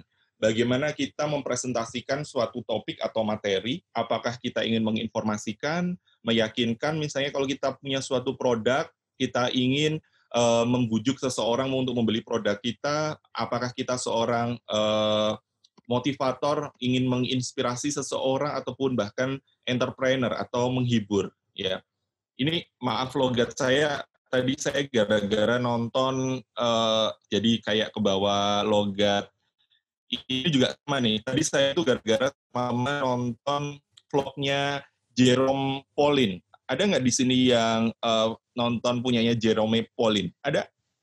Kalau ketawa-ketawa ada biasanya. Ada yang uh, youtuber, ada salah satu youtuber dari Surabaya. Nah ini uh, dia pakainya logat Surabaya gitu. Makanya tadi saya rasa-rasa, oh ini saya kok kayaknya agak ke bawah gitu uh, ya kan uh, agak medok gitu. Karena apa? Uh, itu salah satu anak muda yang anda bisa lihat ya tontonan-tontonan uh, yang kita lihat itu juga harus bisa improve untuk kita. Misalnya teman-teman yang ada di sini uh, pengen go internasional, anda bisa memulai dengan mengafirmasi diri dengan cara melihat mereka-mereka uh, yang sukses ya telling story mereka yang ada di luar negeri. Saya sarankan seperti itu ya. Uh, termasuk saya, oh anak muda sekarang lagi nontonnya si Jerome gitu ya. Oke, saya buka nih si Jerome kayak apa. Ternyata si Jerome ini memang uh, anak yang mana ya? Kalau guyonannya itu guyonan orang tua ya. Uh, uh, guyonan-guyonan era-era saya, Bu Dewa atau Pak Dipta. Jadi saya ketawa ini bocah uh, baru semester 4 tapi kenapa guyonan atau candaannya candaan jadul gitu ya. Nah, makanya tadi saya uh, agak uh, ketawa dan bisa uh, mengikuti uh, cerita tentang si Jerome. Oke, okay, balik lagi ke sini. Apakah Anda presentasi untuk menghibur ataukah misalnya Anda bikin blog untuk menghibur? Jadi kita harus tahu audiens yang akan kita temui, ya. Uh, anda kalau kebetulan nanti naik pesawat um, Lion Air dengan Anda ketika naik Garuda itu pasti beda, ya. Coba kalau misalnya Anda naik Lion Air, ya, Anda mau bawa bagasi yang banyak selain sekarang udah ditambahkan cas yang mahal, ya Anda itu suruh ngangkat sendiri, nggak ada senyum-senyumnya. Tapi beda ketika uh, misalnya teman-teman yang ada di sini itu naiknya Garuda ya, bawa tas saja, permisi Bapak, Ibu, Adik, uh, boleh saya bantu, saya angkat uh, barangnya ke cabin gitu ya. Senyumnya itu uh, mahal gitu ya. Kalau lion itu lion di mulut, lion di hati. Kalau bahasa guyonnya kayak gitu ya. Nah, ini contoh bagaimana uh, totalitas dalam uh, teman-teman sekalian ya bisa mengamati itu ya. Bagaimana itu juga nanti akan kebawa ketika anda berkomunikasi dengan anak-anak ya. Ada pediatric communication. Misalnya ketika anda menyerahkan obat untuk anak-anak untuk orang uh, tua ya uh, untuk yang uh, orang dewasa seperti apa. Jadi ini juga akan kebawa ke sana ya bagaimana konseling komunikasi ya seperti itu. Maka dari itu kita harus tahu siapa audiens kita, usianya, jenis kelamin, tingkat pendidikan ini sangat penting. Misalnya tiba-tiba teman-teman ini hmm, PKPA di Jawa, di Jawa Tengah, bahasanya bahasa Jawa, misalnya KKN ya. Nah KKN ini menarik ya, KKN ini sering kali saya sampaikan ke mahasiswa saya, terutama mereka yang dari luar Jawa, jangan coba-coba pakai bahasa Jawa. Kadang pernah itu ada mahasiswa gini, Mbah, piye mbah kabarnya apa mbah gitu ya Padahal ini kakek-kakek kalau di Jawa itu ada strata uh, bahasa, ada bahasa Jawa, ngoko, halus dan sebagainya. Lebih baik kita pakai uh, bahasa Indonesia. Kalau misalnya ada presentasi bawa translator. Anda sampaikan ini teman saya dari Bali kebetulan tidak bisa bahasa Jawa. Uh, saya akan membantu mentranslate apa yang akan disampaikan oleh teman saya yang hari ini akan mempresentasikan terkait bagaimana mencuci tangan uh, yang benar misalnya seperti itu. Nanti saya akan membantu untuk menerjemahkan. Ini akan lebih bagus daripada uh, teman-teman tadi ya pengennya sih ngeblend dengan warga di sana tapi ternyata malah salah jadinya gitu ya. Nah, maka dari itu ini cukup penting untuk kita bisa mengetahui siapa yang akan kita ajak ngobrol. Sama ketika Anda KKN, tiba-tiba Anda bicaranya sudah high tech gitu ya uh, Bapak Ibu bagaimana uh, afirmasi dari gambar yang tersaji ini merupakan obat yang akan mengalami uh, kontraindikasi pada beberapa kejadian dengan patofisiologi seperti ini seperti ini. Lah Anda ini ngomongnya sama petani, ngomongnya sama pedagang, ada cerita tentang patofisiologi ya. Nah, ini pasti nggak nyambung. Maka dari itu kita harus tahu uh, siapa lawan bicara kita dan di mana kita berada ya. Nah, makanya teman-teman kalau di ini kalau di Bali KKN masih ada nggak KKN? Masih ya. Nah, maka dari itu ini cukup penting nantinya ketika teman-teman sekalian bertemu dengan warga ya tidak hanya dalam konteks pemberian obat atau dalam konteks kefarmasian tapi dalam uh, dunia nyata. Kalau saya biasanya saya uh, mengajari bagaimana cara duduk, bagaimana cara menyilang kaki ya. Uh, mungkin next time kalau pandemi sudah berakhir, nanti kita praktek secara langsung. Eh, nanti mungkin saya sambil liburan ke Bali, saya mampir ke tempatnya uh, teman-teman sekalian. Mungkin kalau nanti sudah membaik, nanti kita praktek secara langsung. Anda kan nggak tahu saya hari ini pakai celana pendek atau celana panjang, sepatuan atau enggak, ya kan? Tapi kalau Anda ketemu langsung, Anda langsung bisa melihat, ya. Oke, biasanya saya sering melihat kalau misalnya saya di Singapura ngamatin, kalau teman-teman China kebanyakan sukanya tasnya Kipling misalnya ya. Karena apa? Kipling ini tahan lama. Oh, ini tipikal orang yang mana dia uh, suka awet, suka barang yang seperti ini. Jadi kita bisa uh, melihat dengan gestur, dengan gaya, dengan apa yang digunakan. Sekarang nggak perlu mahal ya. Kita cinta produk Indonesia misalnya, oh oh ini adalah orang yang cinta dengan neg apa namanya dalam negeri ini suka produk dalam negeri. Lihat dari tasnya lihat dari stylenya gitu ya. Jadi dalam artian uh, setiap orang punya uniqueness masing-masing ya. Saya punya itu satu profesor yang sampai hari ini beliau uh, pindah ada namanya ada profesor ya Bu Dewa ya yang uh, mana sukanya itu rambutnya disanggul ya yang kita dulu pernah ada Bu uh, Nunu namanya dan itu adalah icon. Karena apa ya? Beliau ikonnya ke mana-mana kita temuin beliau seperti itu. Sama kalau anda ketemu Pak Jokowi Pak Jokowi sukanya pakai baju warna putih ya kan? Nah ini adalah brand uh, image dari seseorang. Pak Dahlan Iskan misalnya beliau punya uang banyak tapi beliau sukanya dari dulu pakainya sepatunya sepatu cat ya. Kalau anak muda sekarang uh, skater gitu ya uh, Uh, jadi dalam artian uh, pakainya sepatu yang non formal gitu ya, gaya-gayanya seperti itu gitu. Maka dari itu kalau kita ketemu live gitu ya, secara langsung akan berbeda dengan uh, seperti uh, saat ini. Oke, okay. uh, ini adalah prinsip dalam membuat uh, PowerPoint ya. Uh, nanti saya berikan slide-nya. Sebenarnya ini ada sebenarnya semalam ya. Semalam saya itu ngisi ada seminar di Badan Akreditasi Nasional tentang penyajian data. Tapi ini nggak ada salahnya saya sedikit share ke teman-teman sekalian. Jadi uh, PowerPoint itu kita harus mulai dari persiapan ya, uh, mulai dari membuat sampai uji cobanya ya. Uh, misalnya kita siapkan dulu nanti data-data, tabel, gambar yang akan kita sajikan mulai dari judulnya, pendahuluan, materi, hasil penelitian, kesimpulan sampai ucapan terima kasih ya. Nah, kita tentukan layout ya. Misalnya contoh misalnya dari internet kita bisa browsing, kita lakukan riset terlebih dahulu Kemudian uh, hindari untuk menggunakan tadi ya garis bawah lebih baik gunakan italic atau bold ya. Nah, uh, ini Anda sudah pasti sudah sangat familiar.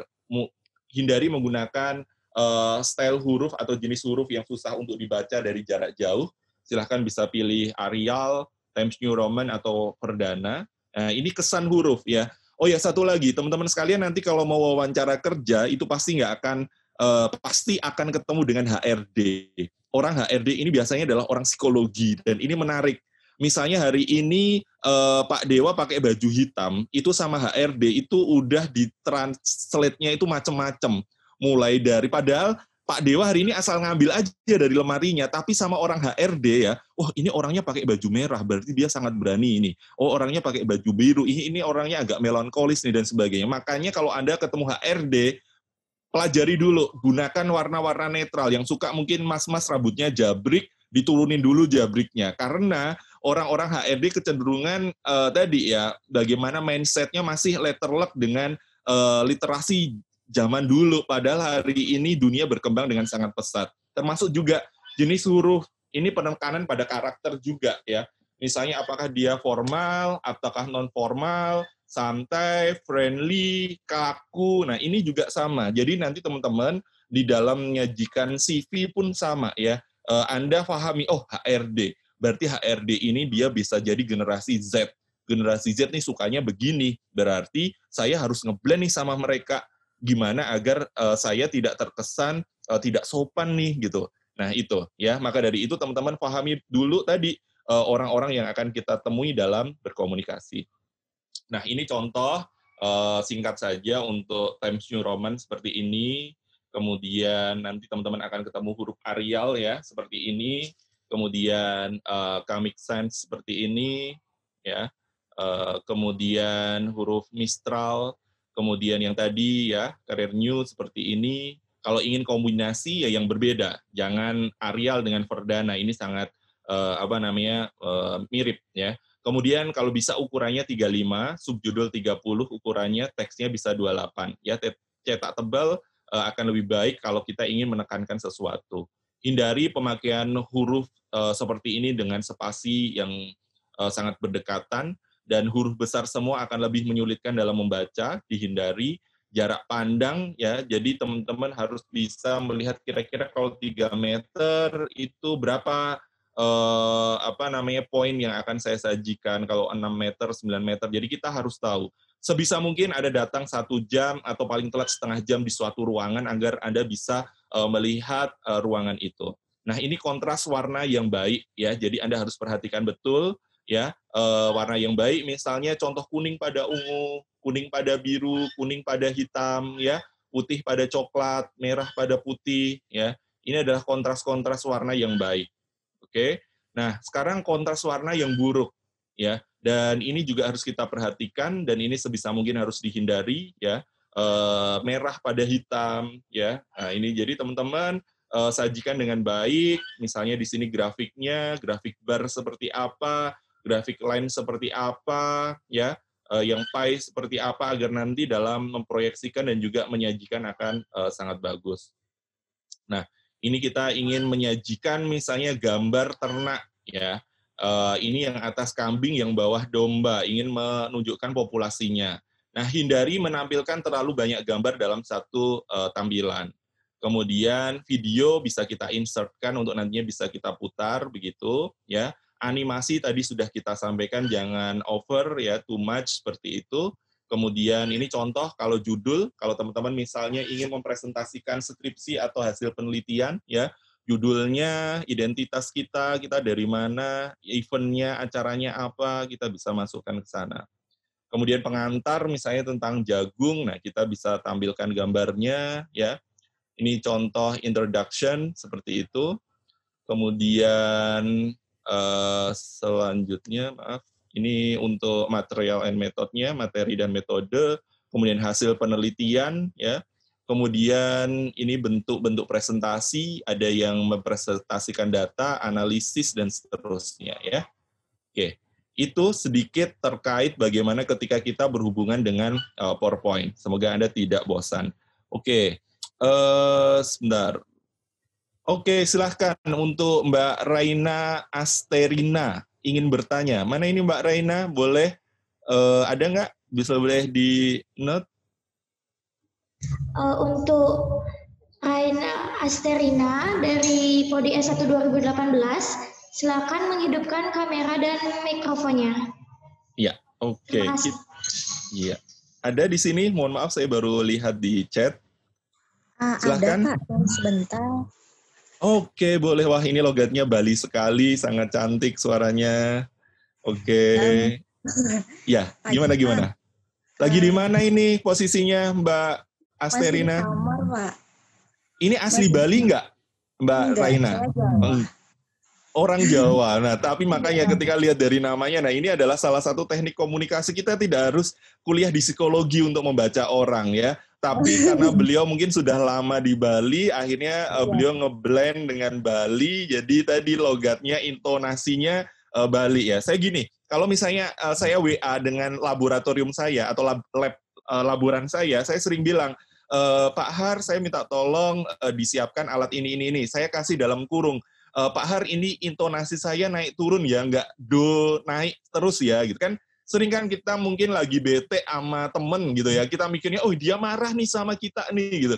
Padahal enggak, itulah bedanya bahasa yang ada di uh, eh, WA atau bahasa yang ada di uh, sosial media. Maka dari itu uh, Anda perlu bisa menyampaikan, oh maaf ini bahasa saya naik turun ya, bukan ngegas ya gitu. Nah kayak gitu. Kayak tadi kan, akhirnya ketemu dengan Reina, lihat wajahnya, tadi awalnya oh ini orang Bali nih gitu, tapi ternyata ketika lihat nama, Oh, ternyata beliau mengakui orang Jawa. Oke deh, langsung aja pertanyaannya gimana, Mbak Reina? Um, mau nanya Pak, kalau misalnya kan kadang kita kan sering tuh dapat tugas presentasi. Nah, right. biasanya ini di awal-awal waktu kita mau perkenalan buka uh, materi itu, kita tuh kayak gugup gitu, Pak. Jadi kayak okay. kita mau formal, tapi takutnya terlalu formal, teman-temannya oh. malah nggak nangkep. Tapi kita hmm. juga takut terlalu bercanda, jadi materinya juga nggak masuk gitu. Jadi okay. uh, eh, ada nggak sih uh, mungkin kiat-kiat untuk bisa presentasi yang teman-teman itu bisa nerima dengan santai, tapi kita tetap okay. uh, eh, formal di depan dosen gitu, Pak? Oke, okay, siap. Oke, okay, Mbak Rena, pertanyaannya ini uh, bagus sekali. Jadi begini, pertama harus persiapan. Ini penting banget. Karena apa? Mbak Rena harus pahami betul. Oh, yang datang siapa nih? Oh, ada teman saya. Oh, ada dosen saya. Oh, dosen saya ini killer apa enggak? Oh, dosen saya ini masuk kategori yang seperti apa? Anda baca dulu saya berdiri atau duduk. Kalau berdiri, Mbak, ada tekniknya. Anda bisa pilih misalnya kalau ini uh, meja ya, Anda pilih di ujung. Jadi nanti Anda bisa pegang itu meja tanpa mereka sadari Anda itu sedang mentransfer nervous Anda ke sana. Ya. Kalau misalnya Anda pakai PowerPoint, kalau PowerPoint-nya ada digitalnya, Anda nanti di slide, kenapa saya kalau uh, bikin slide saya pasti kasih angka? Karena saya dikasih waktu 30 menit. Saat ada 30 slide, berarti satu slide berarti satu menit maksimal. Nah, itu adalah salah satu caranya. Jadi kita harus uh, siap dengan semuanya. Kemudian kalau listriknya mati, berarti apa? Saya harus menyiapkan uh, apa namanya tadi? Kenapa Bu Sri Mulyani dia pegang key card? Misalnya ini ada satu lembar, ini bisa kita bagi menjadi empat. Ya, sebentar saya matikan ini biar kelihatan. Oke, jadi uh, karena di sini adalah poin-poinnya, jadi kita harus uh, tahu misalnya ini ada A4 ya.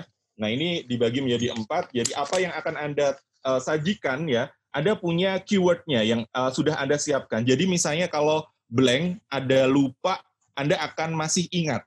Contoh ada kejadian Mbak uh, Mbak Reina. Jadi di suatu saat saya pernah jadi moderator di Hotel Alana. Kebetulan beliau adalah seorang uh, profesor uh, di bidang mikrobiologi untuk anak ya.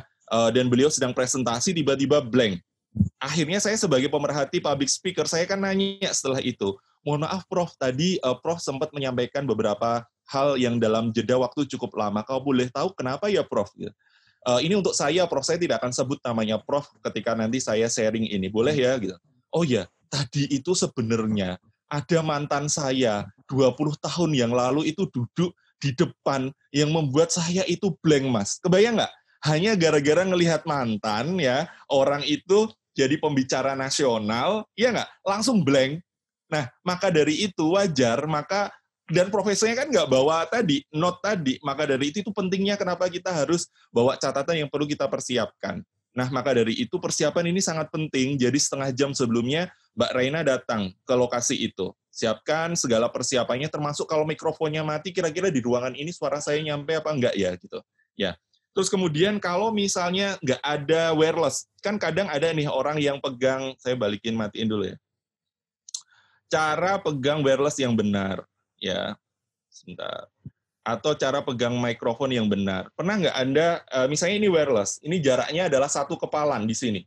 Ada kan orang yang pakai wireless di mepetin sama uh, maaf dengan bibirnya. Padahal di masa pandemi ini bisa uh, apa namanya terjadi kontaminasi silang gitu dipakai after ini dan seterusnya. Maka dari itu harus ada jaraknya. Ada juga yang mana mereka kalau kabel biasanya diikat-ikat di tangannya kayak Ariel Peter Pan mau nyanyi. Ini juga salah gitu. Ya kan? Nah, makanya kalau kita ketemu live akan saya contohkan beberapa. Kalau misalnya nervous Mbak Raina, Anda bisa pegang bolpen. Ada pegang seperti ini, ya Anda sambil presentasi, uh, ini salah satu cara untuk tadi mentransformasi atau mentransfer nervous Anda. Dan kemudian pembuka ini adalah pembuka dan penutup ini cukup penting. Maka usahakan pembuka ini uh, Anda bisa uh, membawa opening dengan sangat baik. Maka dari itu memang kehati-hatian awalnya adalah di opening. Seperti itu. Begitu Mbak Reina? Jadi persiapkan dengan baik-baik kuasai materi. Saya yakin Anda pasti akan tampil dengan baik. Karena hari itu Anda bintangnya Anda yang menguasai mereka audiens itu semua event itu adalah dosen Anda oke terjawab Ya, oke okay, baik. Terima kasih. Terima kasih untuk Bapak Lutfi atas jawaban yang telah diberikan. Oke. Okay. Uh, untuk itu kita lanjutkan ke materi atau kita lanjut ke sesi pertanyaan selanjutnya Bapak? Kita selesaikan materi dulu ya, biar selesai ya. nanti biar nanya jawabnya lebih enak. Saya masih punya waktu berapa lama lagi? Lagi 30 menit Bapak. Oke, siap. Saya uh, selesaikan dalam waktu yang singkat sebentar. Oke. PowerPoint.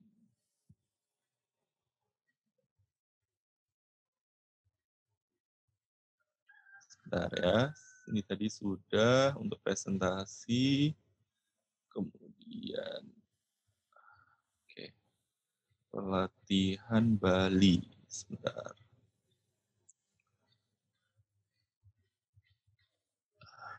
Oke. Ya. Ini kita tadi sudah uh, menampilkan beberapa, ya. Ini saya close dulu. Hmm. Oke. Ya, tadi sampai di sini ya. Oke, masih terlihat atau belum? Halo? Belum terlihat, Bapak. Oh, belum terlihat. Oke, saya ulang lagi. Sebentar. Oke, share screen. Ya. Nah, tadi kita sampai di sini ya. Uh, jadi masih ada ya 30 menit, masih ada waktu. Jadi tujuan public speaking tadi menyampaikan informasi kepada audiens, menghibur audiens ya, mempengaruhi audiens ya. Dan ini diharapkan manfaatnya tadi mengurangi ketidaktahuan audiens, mengurangi uh, tekanan apabila mungkin kita ada uh, sesuatu yang mana seseorang yang mendapatkan uh, treatment holistik ya uh, dengan kita hadir kita memberikan uh, upaya untuk meringankan beban seseorang ya kita bisa mengurangi tekanan memperbaiki hubungan misalnya kita sebagai seorang mediator kemudian memahami sebuah permasalahan dan sampai pada mencari jalan keluarnya. Nah, faktor pembentuk speaker ini memang hampir sebagian besar orang mengatakan bakat, tapi bagi saya tidak. Kita lebih banyak kepada latihan, jam terbang, dan juga lingkungan orang-orang yang Anda temui. Ya, dan teman-teman yang ada di Bali ini uh, pastinya bertemu dengan banyak orang yang sangat beragam. Ini sudah merupakan suatu modal utama ya. Dan ini adalah masalah uh, yang sering terjadi ketika seseorang akan presentasi, ada kecemasan atau nervous, kemudian uh, teknik public speaking yang belum dikuasai dan juga uh, minim akan penguasaan materi. Nah, mungkin ada beberapa yang mengalami gejala-gejala uh, seperti ini ketika tadi ada pertanyaan dari uh, teman Anda mungkin ketika mau presentasi ada detak jantungnya cepat, lutut gemetar ya, berkeringat, suara bergetar, pusing ya, bahkan blank. Nah, ini wajar. Kalau Anda tidak uh, seperti ini, malah justru Anda bukan manusia. Kalau Anda masih manusia ya, mau presentasi uh, keluar seperti ini ini wajar ya. Maka dari itu uh, nervous dan usaha mengalahkan uh, diri sendiri.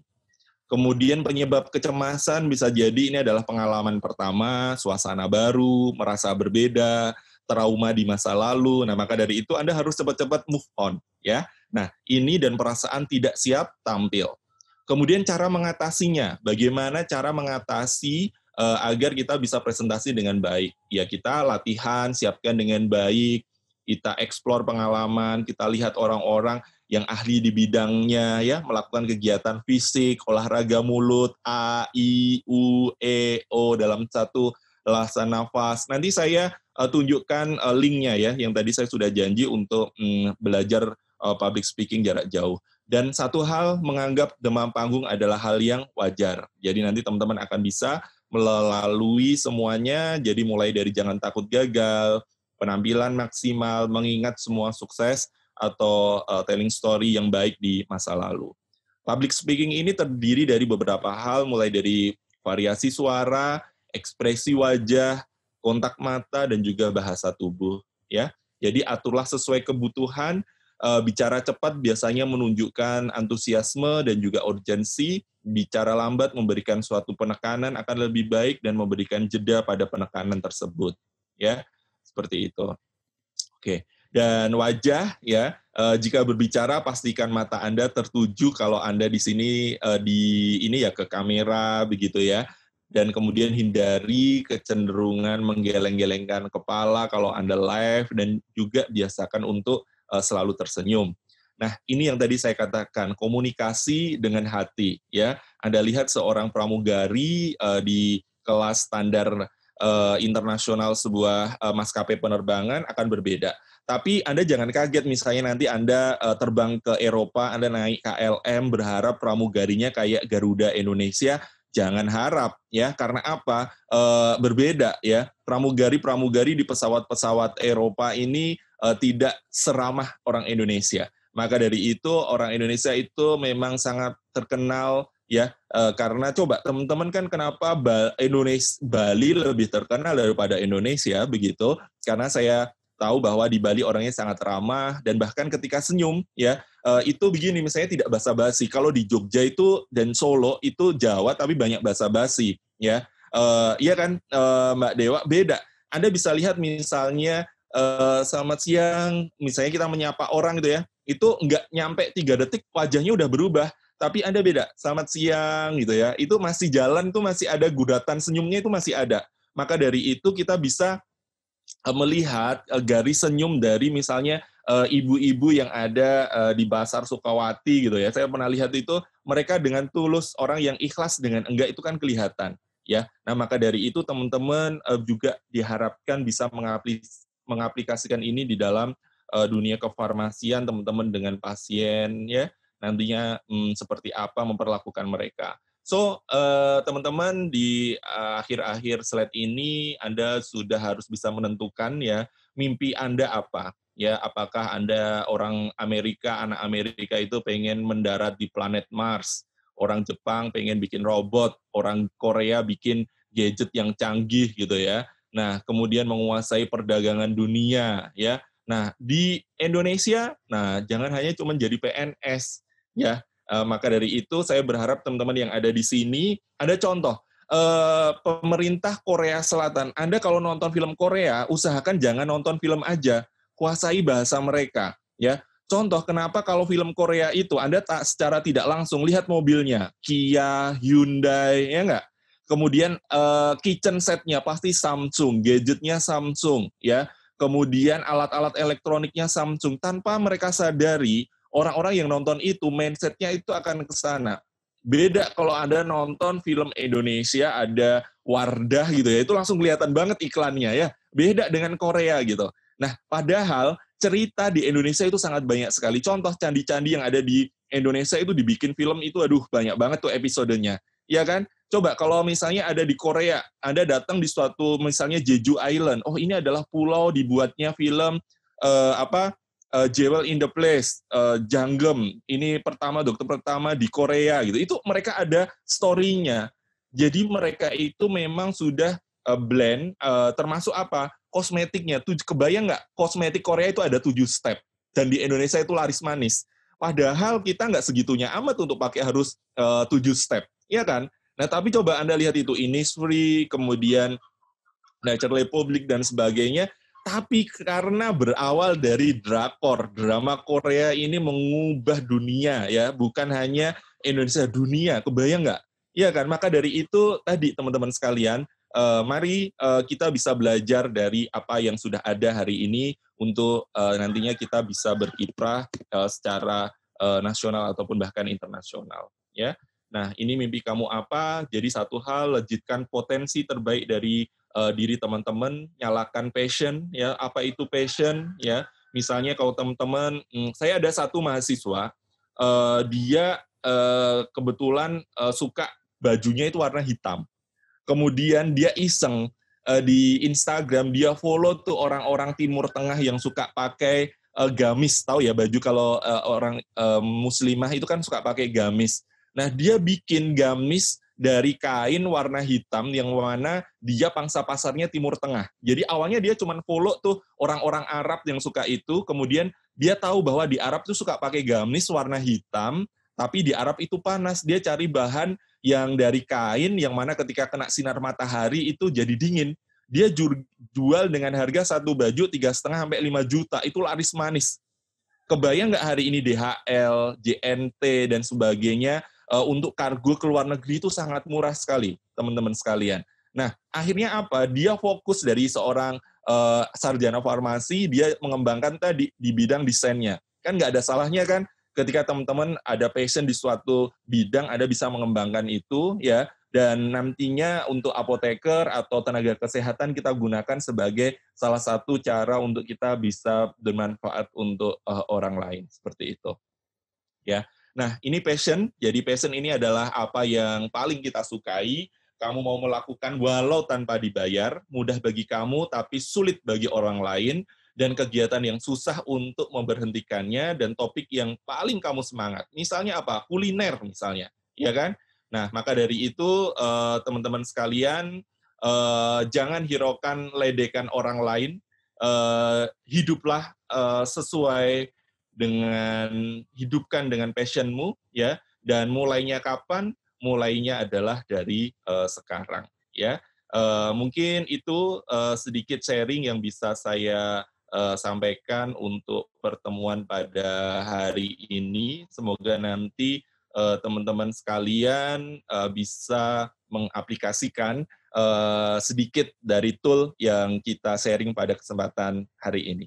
Baiklah, uh, waktu saya kembalikan lagi kepada moderator. Baik, terima kasih Bapak Lutfi atas pemaparan yang begitu menarik. Peserta webinar yang saya hormati, demikianlah pemaparan materi yang telah dibawakan oleh pemateri kita hari ini. Mungkin saya akan rangkum sedikit materi yang telah dipaparkan oleh materi kita hari ini. Eh, perkembangan teknologi sangat berpengaruh dan berperan penting dalam kehidupan. Namun, pemanfaatan dan penggunaannya harus dilakukan secara efektif dan sesuai sehingga kita dapat sehingga dapat memberikan dampak positif bagi kita. Perbedaan generasi memiliki cara komunikasi yang berbeda, sehingga kegiatan penyampaian pesan berupa ide atau gagasan secara oral itu harus diperhatikan juga. Nah, salah satu dasar dari public speaking yaitu uh, pada saat presentasi harus disesuaikan uh, desain dan topiknya uh, untuk materi yang akan dipresentasikan. Nah, selain itu juga public speaking itu juga dilihat uh, kepada siapa ingin disampaikan seperti uh, usia, jenis kelamin, tingkat pendidikan, latar belakang sosial dan lainnya. Sehingga pada saat kita menyampaikan materi public speaking, persiapan dan latihan itu sangat dibutuhkan. Uh, baik, Sebelum kita memulai sesi tanya jawab, saya ingin mengingatkan kembali kepada seluruh peserta webinar untuk selalu aktif selama webinar berlangsung, termasuk membaca ruang chat Zoom karena presensi kehadiran akan dibagikan melalui ruang chat Zoom, serta diwajibkan untuk mengisi post test pada saat akhir acara serta presensi di akhir acara. Berikut akan kami lanjutkan dengan sesi tanya jawab dengan ketentuan sebagai berikut. Bagi para peserta yang ingin bertanya, silakan menyebutkan nama, spasi prodi, beserta tahun angkatan pada room chat Zoom. Yang kedua, untuk peserta yang saya sebutkan namanya, agar mengaktifkan video dan suaranya. Kemudian, dipersilakan untuk menyampaikan pertanyaannya kepada pemateri. Yang ketiga, setelah penanya menyampaikan pertanyaannya, dimohon agar kembali menonaktifkan video dan suaranya. Baik, langsung saja kita mulai diskusi hari ini, kurang lebih selama 30 menit ke depan. Saya persilakan kepada peserta webinar untuk bertanya. Uh, dari penanya pertama, untuk Ari Chandra dari Sarjana Farmasi 2018, silakan mengaktifkan video dan suaranya.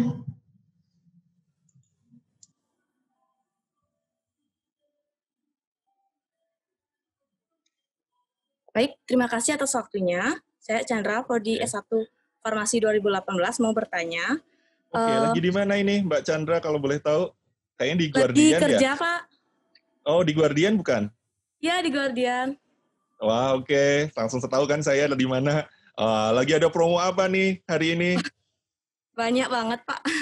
Banyak banget ya. Kalau maskernya yeah. apa yang paling banyak disukai mereknya? Sensi atau yang lain? Sensi, Sensi sama Yumas. Kalau Yumas soalnya oh, dia okay. lebih murah, Pak.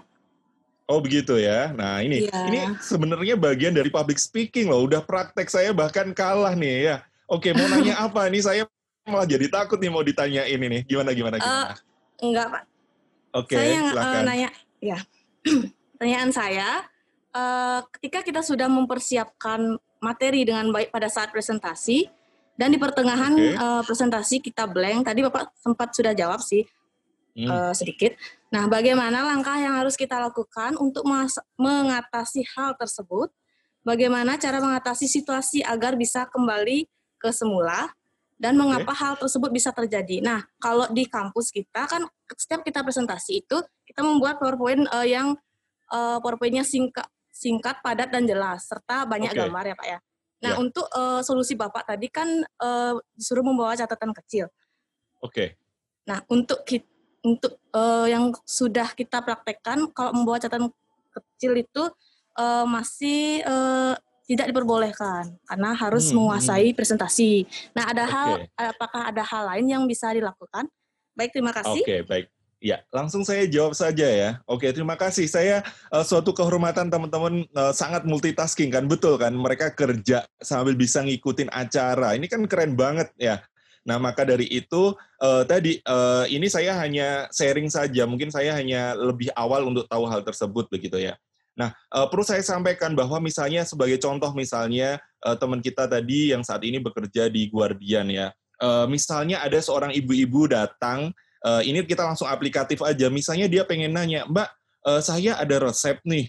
Resep ini kebetulan saya tebus saat saya belum hamil. Nah, ini saya masih ada obat ini. Obat ini kira-kira saya hamil di trimester awal aman atau enggak? Nah, tiba-tiba ada pertanyaan seperti itu Misalnya, Anda asal jawab, oh Bu, kayaknya. Nah, kalau Anda seorang uh, farmasis, seorang yang mana mengetahui obat, tidak ada istilah kayaknya. Ya, yang ada apa? Misal nih, kalau saya jadi uh, teman yang praktek, uh, Ibu bila berkenan, Ibu cukup nyaman di sini atau mungkin kita siap uh, berpindah ke tempat yang lain. Kalau Ibu cukup nyaman, bolehkah saya meminta waktu 5 sampai 10 menit untuk saya bukakan Ibu literatur agar nantinya informasi yang saya sampaikan bisa lebih tepat dan sesuai dengan update informasi ataupun jurnal terbaru misalnya. Oke, kita sampaikan itu. Kira-kira Anda akan kelihatan bodoh apa enggak? Saya rasa enggak. Nah, apalagi kalau kita sampai buka nih memes misalnya. E, Ibu ini adalah untuk informasi obat terbaru ada di MIMS edisi ini. Di sini dinyatakan bahwa obat yang Ibu gunakan ini aman untuk tri semester awal. Kira-kira Anda yakin nggak ketika ada orang menunjukkan literatur di hadapan Anda? Pasti pasien akan sangat yakin, ya kan? Sama, kalau ini di dunia presentasi, ketika tiba-tiba blank, yang kita lakukan adalah, e, Bapak Ibu mohon maaf, e, saya mohon waktu sejenak, e, saya ingin melihat e, kembali inti dari topik yang slide yang saya tampilkan agar e, tidak salah dalam saya menyajikan atau menyampaikan akan lebih baik seorang uh, dosen ya yang kita hadapi itu akan lebih senang seperti itu daripada kita muter-muter. Atau kalau enggak, uh, terima kasih uh, Bapak atas masukannya akan menjadi note untuk saya ketika nanti revisi akan saya uh, sampaikan. Itu akan lebih bagus. Tapi ketika Anda defense ya, Anda muter kayaknya kayaknya. Nah, apalagi kalau sudah bahasa bukan evidence based kayaknya, nah ini Anda akan uh, bisa uh, diberikan nilai yang kurang baik begitu. Jadi maka dari itu, selain tadi kita perlu adanya persiapan yang optimal, yang memang keywordnya ada di sana, kita memang harus prepare. ya. Maka dari itu, eh, tadi misalnya kalau memang tidak boleh membuka catatan aturannya seperti itu, dan ternyata ketika kita blank, sampaikan saja mohon izin Bapak, saya ingin eh, melihat. Kita jujur saja. Atau misalnya kalau nggak boleh, eh, tadi sama, misalnya kita mencari jawabannya kelamaan. Eh, Ibu, bila berkenan, eh, saya minta eh, ini ada kartu nama saya, uh, boleh kalau diperkenankan saya meminta nomor WA Ibu nanti dalam waktu eh, satu kali 24 jam saya akan menginformasikan uh, obat yang tadi Ibu tanyakan. Enak kan? Jadi ada lifetime, ada waktu yang kita uh, apa namanya deadline yang kita berikan kepada orang yang bertanya tersebut. Itu mungkin kalau aplikasinya ya di dunia nyata uh, bagaimana ketika kita blank akan suatu informasi obat misalnya di suatu pelayanan rumah sakit. Begitu uh, bagaimana untuk yang tanya apakah terjawab? Kira-kira mohon maaf kalau belum optimal. Untuk uh, Ari Chandra, bagaimana? Bisa diaktifkan mikrofonnya? Bis, uh, sudah Pak, sudah bisa dijawab. Terjawab. Oke, okay, terjawab ya. Oke, okay, semangat Mbak Ari. Uh, pokoknya ada di garda terdepan ya, uh, ya untuk Pak. melayani masyarakat. Oke, okay, sukses selalu Mbak Ari. Ya, terima kasih Pak. Oke, sama-sama. Uh, Wah, ini keren-keren ya. Sudah banyak yang bekerja dan ini sudah merupakan value tersendiri loh Pak Dipta. Tinggal bagaimana dikembangkan jadi kampus yang memang kita nggak perlu harus kayak uh, eh, UGM menciptakan ilmuwan-ilmuwan yang hebat menurut mereka gitu enggak. Tapi kita coba di misalnya tadi kayak Mbak Ari ini kan dia tahu kan lokasi bagaimana lehting dari uh, Guardian, lehting dari Kimia Farma itu teman-teman bikin nanti ya uh, jaringan uh, apa apotek atau drugstore yang mana lightingnya itu dibikin yang bagus. Coba Anda kan akan pasti akan senang ketika datang ke Indomaret sama datang di Indomaret misalnya kayak gitu kan. Jadi kita bikin seragam dan Anda tidak perlu harus franchise bayar mahal yang BEP-nya lama sekali. Tapi dengan tadi teman-teman ini kan udah pada praktek itu dibikin suatu konsep uh, dihitung uh, kira-kira membutuhkan uang berapa ketika bikin guardian tapi bukan guardian tapi gayanya layoutnya nanti herbal di sini ergonomiknya itu semuanya pakai ilmu memang. Misalnya ketika kita lihat uh, vitamin ada di tatapan mata bel uh, black morse misalnya eh, itu pasti diletakkan di sini. Indomie itu di sini mie sedap di bawah uh, Wingsfood itu di bawahnya lagi. Kalau anda lihat tuh jalan-jalan ke Carrefour.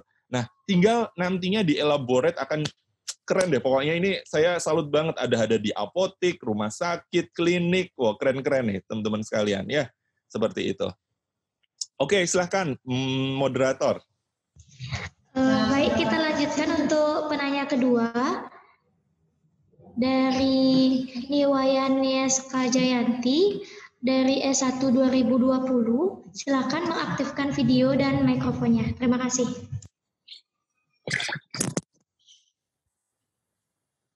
Baik, Kak. Terima kasih, Kak.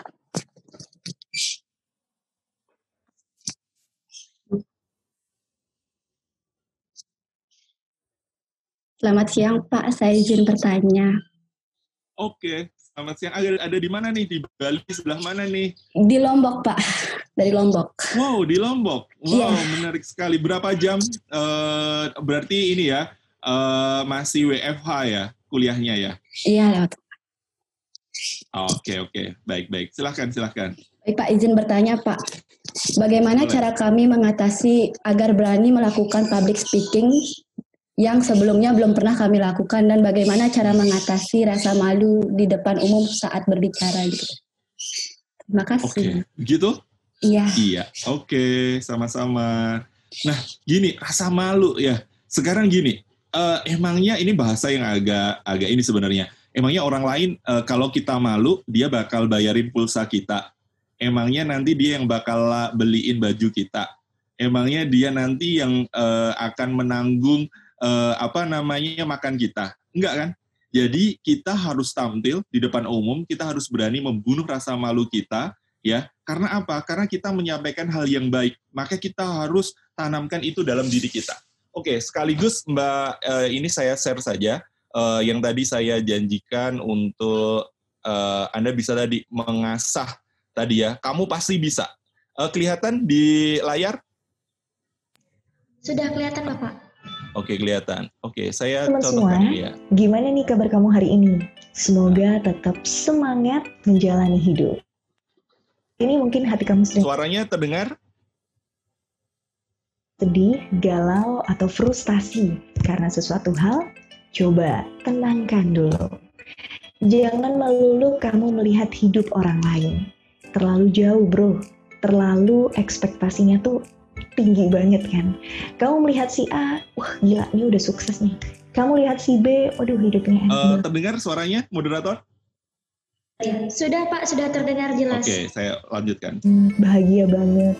Dan kemudian kamu akan melihat diri kamu tanpa tidak memiliki apa pun atau belum mencapai apa pun.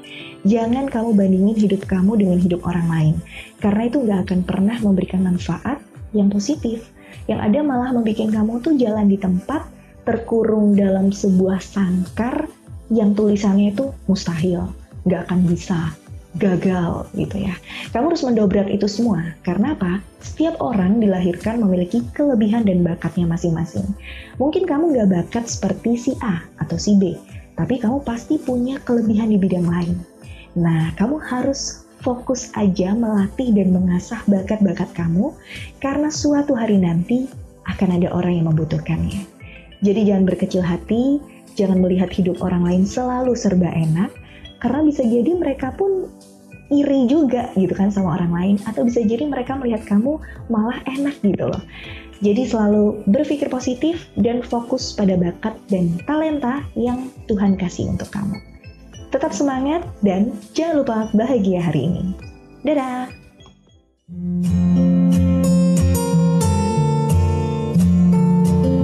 Ya, oke.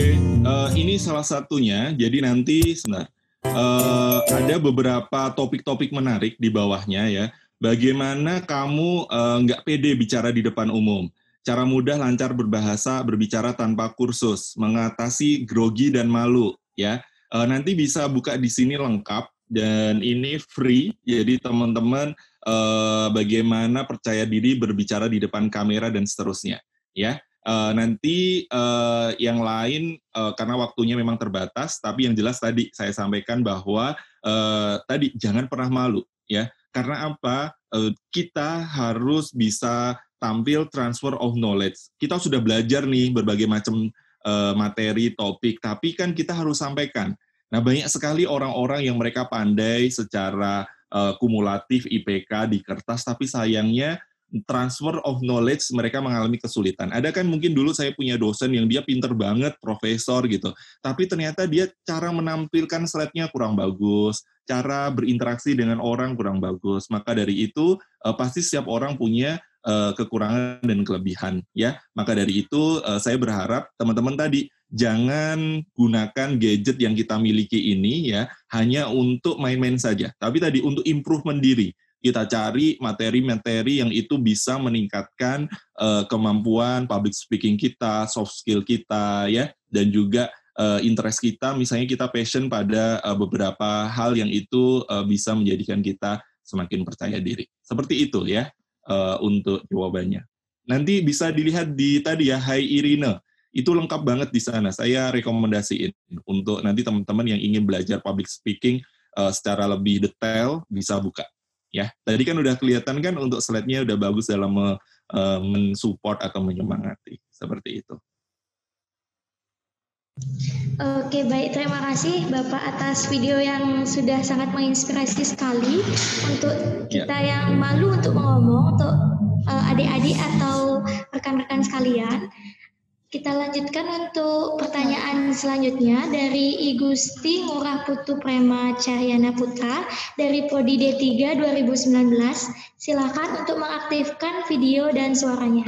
Terima kasih.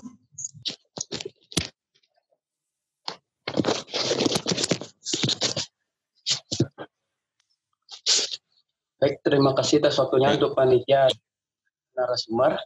Selamat pagi semua. Oke. Pagi ini dengan siapa? Uh, uh, dengan Prema, betul ya namanya ya? ya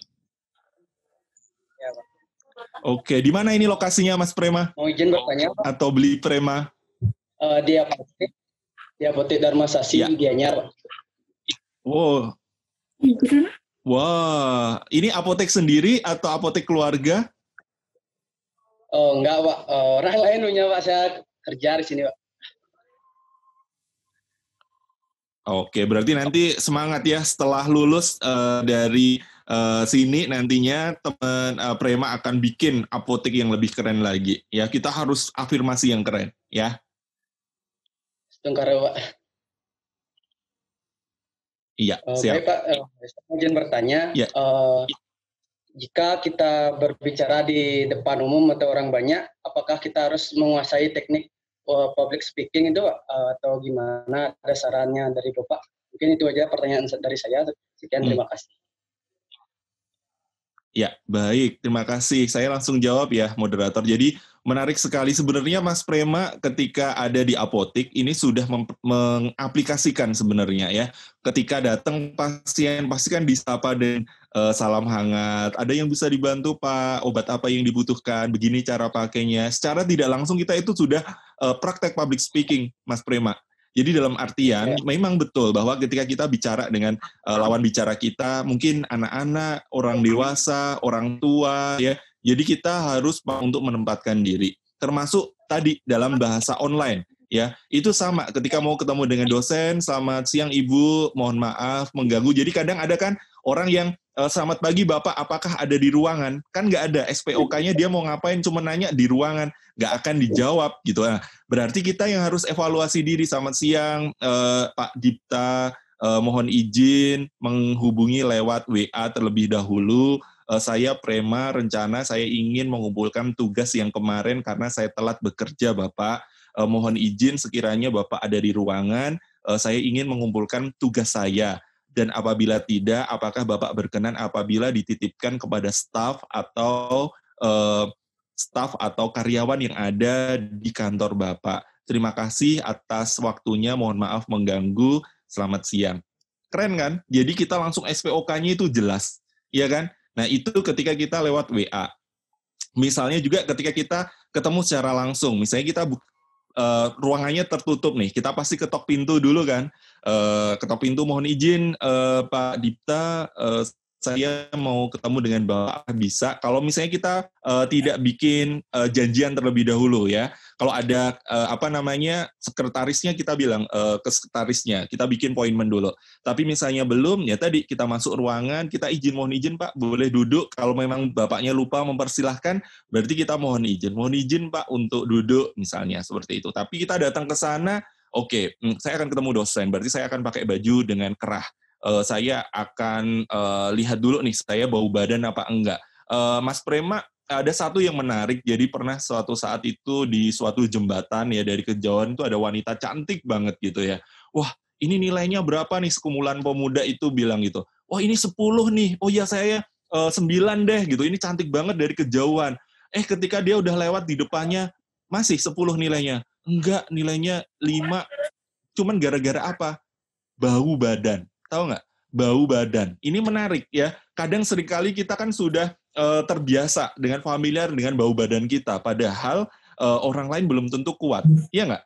Tapi kalau Mas Prema kenal dengan sahabatnya ini pasti mereka sudah intolerir nih. Nah maka dari itu sesekali jalan sama orang nanti di sore hari bilang, eh kamu jujur aja deh selama ini kalau selama jalan sama saya dari pagi sampai sore, kamu jujur aja sampein hal-hal yang nggak kamu suka dengan saya. Saya nggak bakalan marah. Nah ini lebih otentik uh, mas, lebih apa ya objektif ketimbang ketika itu sahabat kita. Kalau sahabat kita udah terbiasa dengan bau kita, ini contoh kecil ya kita tidak harus pakai parfum yang mahal, enggak. Cukup deodoran, antiperspiran ya, itu akan mendukung performan kita, penampilan kita. Apalagi Mas Prema kan ketemu uh, pelanggan tuh, udah ada pelanggan yang datang. Ya, disamperin dulu. Ya. Oke, sip. Terjawab Mas Prema? Oke, nanti kita bisa lanjut lagi tuh. Disamperin dulu karya apa namanya pelanggannya atau mungkin uh, atasannya ya. Thank you Mas Prema. Ya, siap. Baik, terima kasih. Kita lanjutkan untuk penanya selanjutnya dari IKD Dwija Kusuma dari Prodi D3 2020. Silakan mengaktifkan video dan suaranya. Terima kasih. Ya, selamat siang Pak Lutfi dan moderator. Kenalkan Wah, selamat siang. Oke. Okay. Dari uh, tempat yang uh, Om Lutfi sebutkan tadi, saya pas dari ya. Sukawati ya. gitu. Wow, nice. Oke, okay. silahkan. Eh, kita, saya mau tanya, ada nggak sih uh, Pak Lutfi trik-trik untuk menyanggah ketika kita berpublic speaking itu kan kan kadang-kadang juga nggak mulus-mulus banget pas kita presentasi dan lain-lain. Nah, ketika yeah. ada yang betul-betul keras misalnya, mm-hmm. oh itu nggak benar, ini ini salah betul-betul nggak sesuai loh ini. Nah, ada nggak sih trik-triknya kita itu buat ngademin mereka loh. Itu kan juga ya, penting juga ya. kan public speaking. Oh, betul Ketika betul, di nggak usah jauh-jauh. Menurut yang kemarin itu misalnya di di konter di klinik kan okay. biasalah zaman sekarang apa yang habis, apa yang salah, dosis dan lain-lain. Nah, ketika kita salah itu apa hmm. sih yang mesti kita lakukan? Apa kita ujuk-ujuk, ah, bu, maaf bu, maaf, apa gitu, apa gimana? Iya, terima kasih, iya, iya, iya. Oke, terima kasih Pak Kade. Wah, ini sudah ekspertis, ini udah ketemu banyak orang nih ya.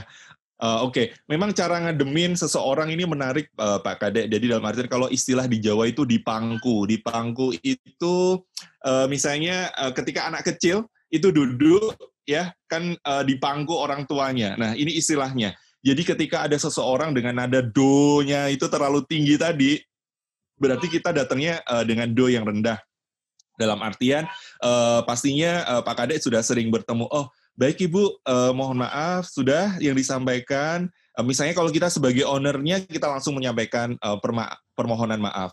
Eh, Ibu saya sebagai ownernya mengucapkan eh, permohonan maaf yang eh, luar biasa, mohon, mohon maaf yang sangat atas kesalahannya. Eh, apabila eh, diperkenankan, saya akan mengganti eh, produk atas kesalahan tersebut. Misalnya kalau kita bicaranya tentang produk, tapi ketika kita di dalam suatu perdebatan, eh, kita terima dulu, kita dengarkan dulu. Seringkali kan kita uh, punya dua telinga, tapi kita tidak mau mendengarkan atau memberi kesempatan orang lain dulu. Maunya kita yang ngomong terus di awal. Maka dari itu kita dengarkan. Baik Bapak, sudah selesai. Izinkan saya yang gantian untuk menyampaikan atau menjawab uh, pertanyaan dari Bapak, gitu misalnya. Uh, sebelumnya kita sampaikan dulu, oh terima kasih Bapak telah sharing pengalaman. Uh, ini adalah suatu kehormatan saya bisa menerima uh, ilmu yang baru dari Bapak. Kalau memang kita uh, tidak mau menjawabnya, kita jujur saja. Saya akan jadi not catatan untuk saya agar nantinya saya ke depan bisa lebih baik lagi. Tapi kalau memang kita ingin mempertahankan jawaban kita, tapi tanpa orang tersebut apa katakanlah uh, beliaunya tersinggung begitu ya Pak ya. Nah itu juga kita sampaikan. Uh, baik Bapak, uh, ini sedikit sharing dari saya. Ini berdasarkan literatur jurnal yang terbit di UK pada tahun 2020 ini yang terbaru menyatakan bahwa nah itu akan lebih enak Pak. Jadi ketika kita bicaranya adalah uh, ilmiah, orang siapa pun anda, Pak Kadek berbicara dengan profesor pun ketika kita yang kita sodorkan adalah tadi critical appraiser dalam hal ini adalah tingkatan tertinggi jawaban adalah di jurnal dengan metode yang paling bagus dan juga jurnal bereputasi, pasti beliau akan menerima. Misalnya orangnya ngotot nih pengobatannya itu pakai ini gitu. Tapi kita menunjukkan mohon maaf ini adalah uh, jurnal terbaru kalau boleh sharing uh, di sini menyatakan ini penggunaannya tidak dua kali sehari tapi cukup satu kali sehari. Misalnya seperti itu. Tapi kita harus uh, base evidence base Pak Kadek. Kalau itu memang ada kaitannya dengan tadi uh, ilmiah tidaknya uh, suatu jawaban. Bukan begini jawabnya, oh menurut profesor saya saat saya kuliah dulu, kan kuliahnya 10 tahun yang lalu, update ilmunya udah jadul, udah ketinggalan pasti kita akan mudah dipatahkan. Tapi ketika tadi kita evidence based medicine ya, kita berdasarkan bukti ilmiah eh, pasti akan diterima kalau dia memang eh, orang yang open mind terhadap eh, dunia akademik seperti itu Pak Kadek. Semoga bisa menjawab eh, sedikit dari eh, jawaban saya yang mungkin jam terbangnya kurang banyak. Oke, sama-sama. Baik, terima kasih pertanyaannya untuk Bapak Kadek eh, sangat mewakili ya untuk mahasiswa saat presentasi. Bagi teman-teman yang bertanya, ya, okay. uh, untuk pertanyaan selanjutnya dari Tiapan S1 2017, silakan mengaktifkan video dan suaranya. Terima kasih.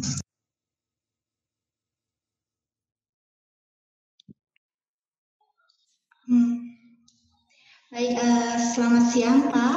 Uh, jadi di sini saya Tiapran, saya dari ya. Prodi S1 dari mana ini? 2017. Okay. Di sini saya ingin bertanya uh, pada uh, terkait dengan presentasi Posisinya ya Pak. di mana Mbak Tia kalau boleh tahu?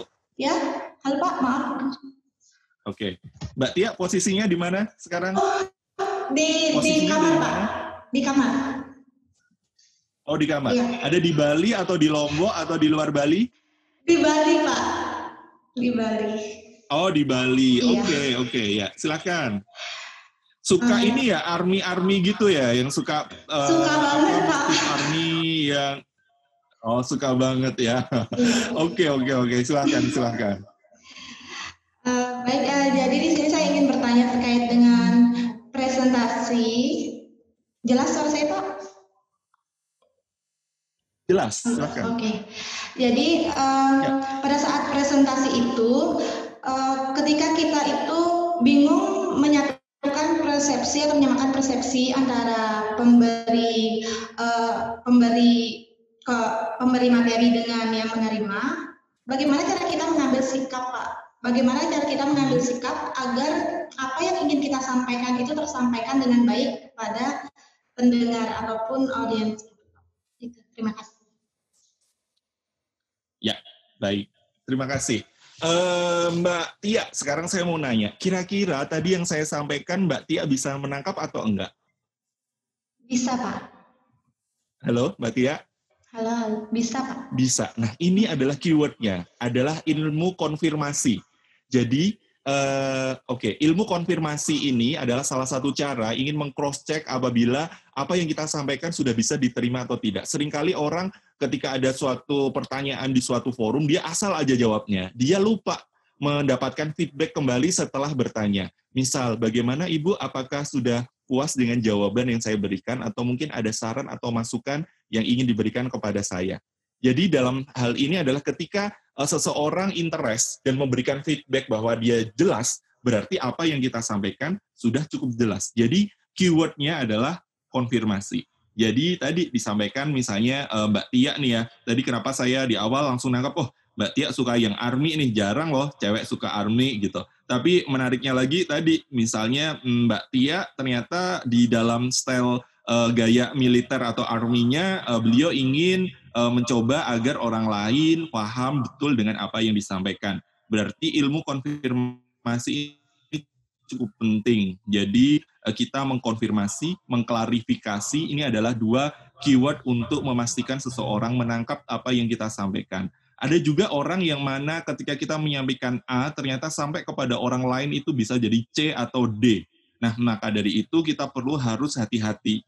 Ya, uh, tapi di era milenial seperti ini uh, kesalahan dalam menyampaikan sepertinya uh, bisa kita lihat. Yang sering terjadi apa? Orang malas membaca. Coba kalau teman-teman itu mungkin ada followernya Lambe Turah ya. Di Lambe Turah itu kalau sudah tulisannya itu panjang banget, langsung pasti nanti komentarnya apa? Eh, malas bacanya, saya nunggu aja maksudnya apa, saya nunggu aja kesimpulannya. Nah, ini yang salah. Seringkali orang malas untuk membaca, tapi lebih seneng uh, tadi langsung pada kesimpulannya. Padahal proses ini sangat penting.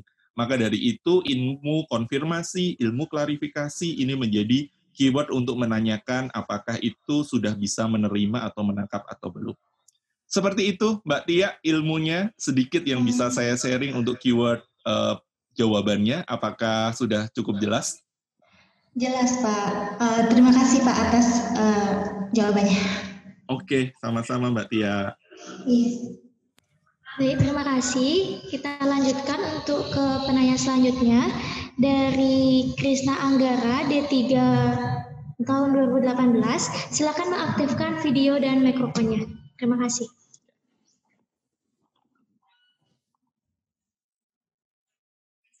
Selamat pagi Bapak.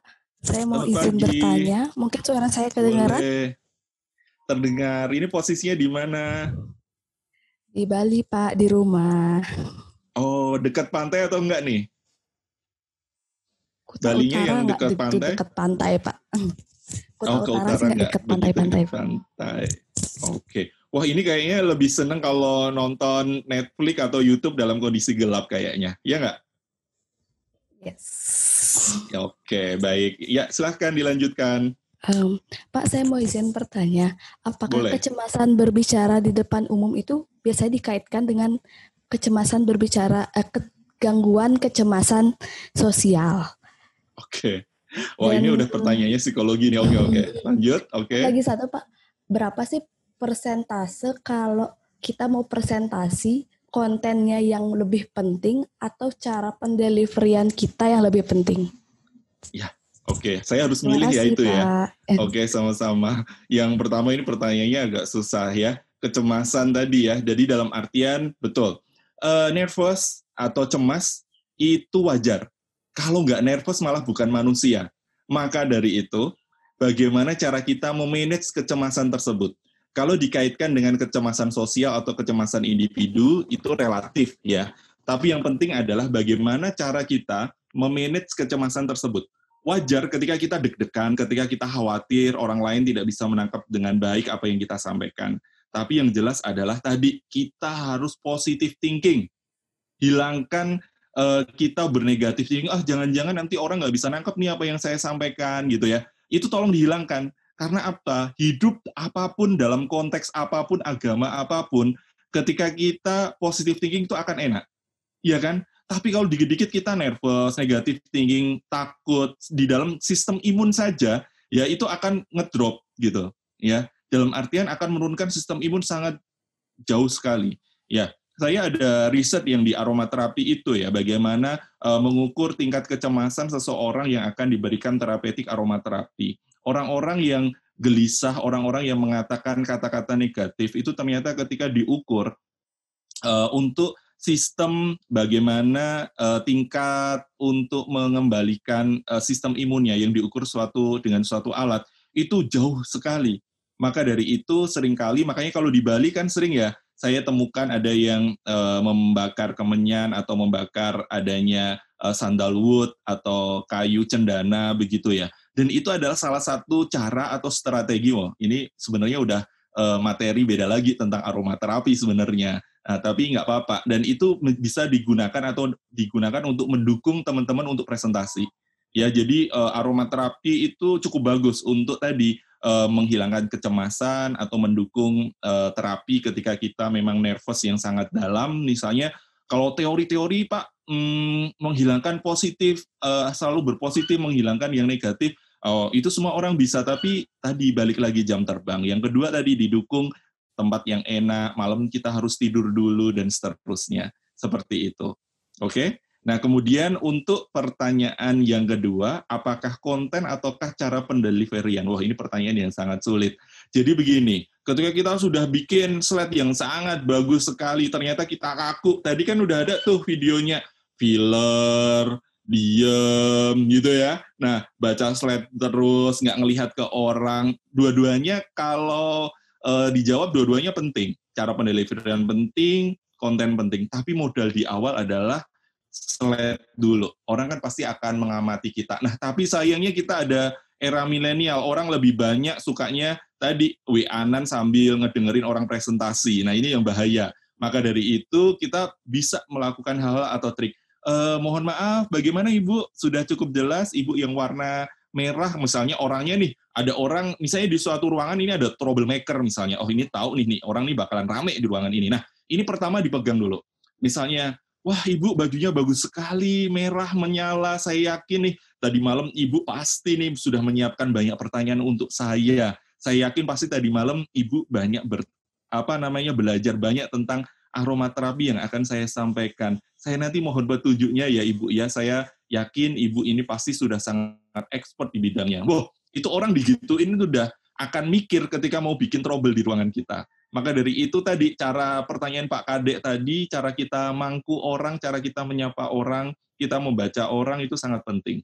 Maka dari itu eh, kita utamakan terlebih dahulu adalah raw material, bahan baku, kemudian yang kedua kalau cara pendeliverian ini nanti bisa sambil jalan seperti itu. Dan be yourself, jadilah diri sendiri seperti itu. Oke, semoga menjawab uh, pertanyaannya. Bagaimana? Cukup jelas? Jelas, Pak. Terima kasih, Pak. Oke, sama-sama. Uh, baik, ya. kita kita lanjutkan untuk penanya selanjutnya dari Bisma Duta S1 Farmasi 2017. Silakan mengaktifkan okay. video dan mikrofonnya. Terima kasih.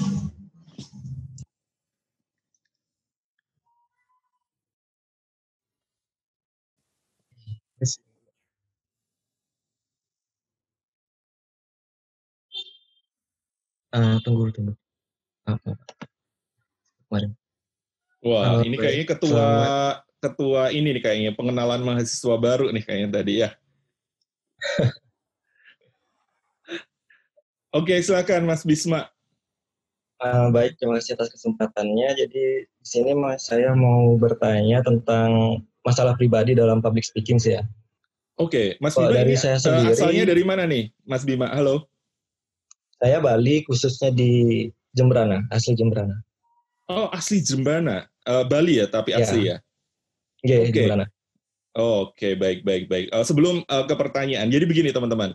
Kalau misalnya Mas uh, Bisma bercita-cita jadi pengen presenter uh, Kompas TV atau Metro TV, nah ini Mas Bima sudah dapat poinnya. Karena apa? Mas Bima sudah bisa mulai diftong untuk uh, logat Balinya uh, tadi tidak tampak oleh saya.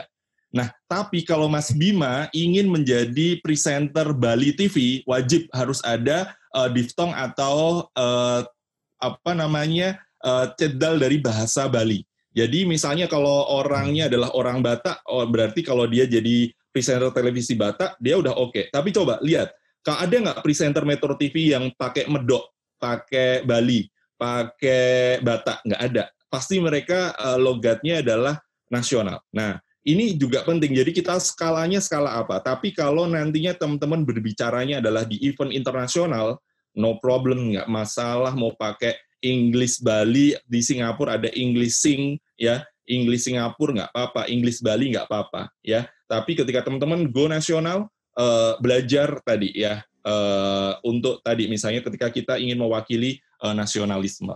Oke, okay, itu itu sedikit uh, sharing. Uh, berarti Mas Bisma uh, orang Jembrana ya. Oke, okay, silahkan Mas Bima. Iya. Yeah. Mas Bisma. Uh, baik. Jadi saya mau bertanya, uh, bagaimana sih cara untuk membentuk suara atau intonasi yang benar? Karena kan kalau masalah saya itu kan uh, intonasi kurang, nadanya kurang karena jadi uh, nada suaranya itu datar terus. Nah, bagaimana cara meningkatkan kualitas uh, suara tersebut dan agar tidak membosankan lah untuk penyampaian materi ke publik. Gitu. Oke, sebelum uh, ke sana, saya mau nanya, moderator kira-kira Mas Bisma ngebosenin nggak cara ngomongnya? Halo? Uh, moderator kira-kira Mas Bisma bosenin nggak ngomongnya? Uh, tidak Pak, soalnya uh, Kak Bisma juga punya pengalaman sebagai asdos. Saat asdos itu Kak Bisma uh, mampu tidak membuat kita itu bosan saat mendengarkannya. Nah, itu. itu Mas Bisma. Jadi ketika saya ketemu dengan banyak orang, ketika Mas Bisma hari ini ngomong, itu sudah memiliki modal intonasi be yourself yang tadi saya katakan. Ya, jadi kita tidak perlu harus meniru gaya orang lain tidak, tapi kalau jadi uh, sedikit preferensi, misalnya uh, ketika mau belajar nih ingin meningkatkan uh, diftong a i u e o dalam satu nafas Nah, itu akan lebih bagus sebenarnya. Biasanya ini dimiliki oleh mereka-mereka yang news anchor atau pembawa berita ya. Uh, jadi mereka harus memiliki uh, kekuatan penekanan karena yang dihadapi ini biasanya kan politikus-politikus. Mas Bisma kalau lihat seorang Najwa Sihab ya, uh, beliau penekanannya itu sangat luar biasa karena apa yang dihadapi ini uh, bisa jadi bandit-bandit uh, di dalam politik tanda kutip ataupun misalnya seperti kemarin pengacaranya seorang uh, ya tersangka dari uh, Bank Bali begitu ya kasus Bank Bali yang mana berkelit ke sana ke sini sama seorang Najwa Shihab beliau bisa dipatahkan dengan sangat bagus. Nah, ini kalau dari Mas Bisma tadi menyampaikan uh, Mas Bisma sudah cukup punya uh, kemampuan untuk tadi ya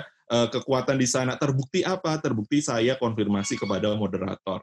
Nah, maka dari itu uh, Mas Bisma keywordnya adalah be yourself kemudian yang kedua, tadi Mas Bisma dari penilaian saya, Mas Bisma kalau misalnya jadi presenter news, katakanlah Metro TV sudah bisa untuk go nasional, maka dari itu ini sebuah modal sebenarnya. Tinggal nanti uh, bagaimana misalnya nih Mas Bisma nanti mau bikin uh, youtuber tentang uh, explore Jembrana, mau meningkatkan potensi ekonomi kreatif di sana.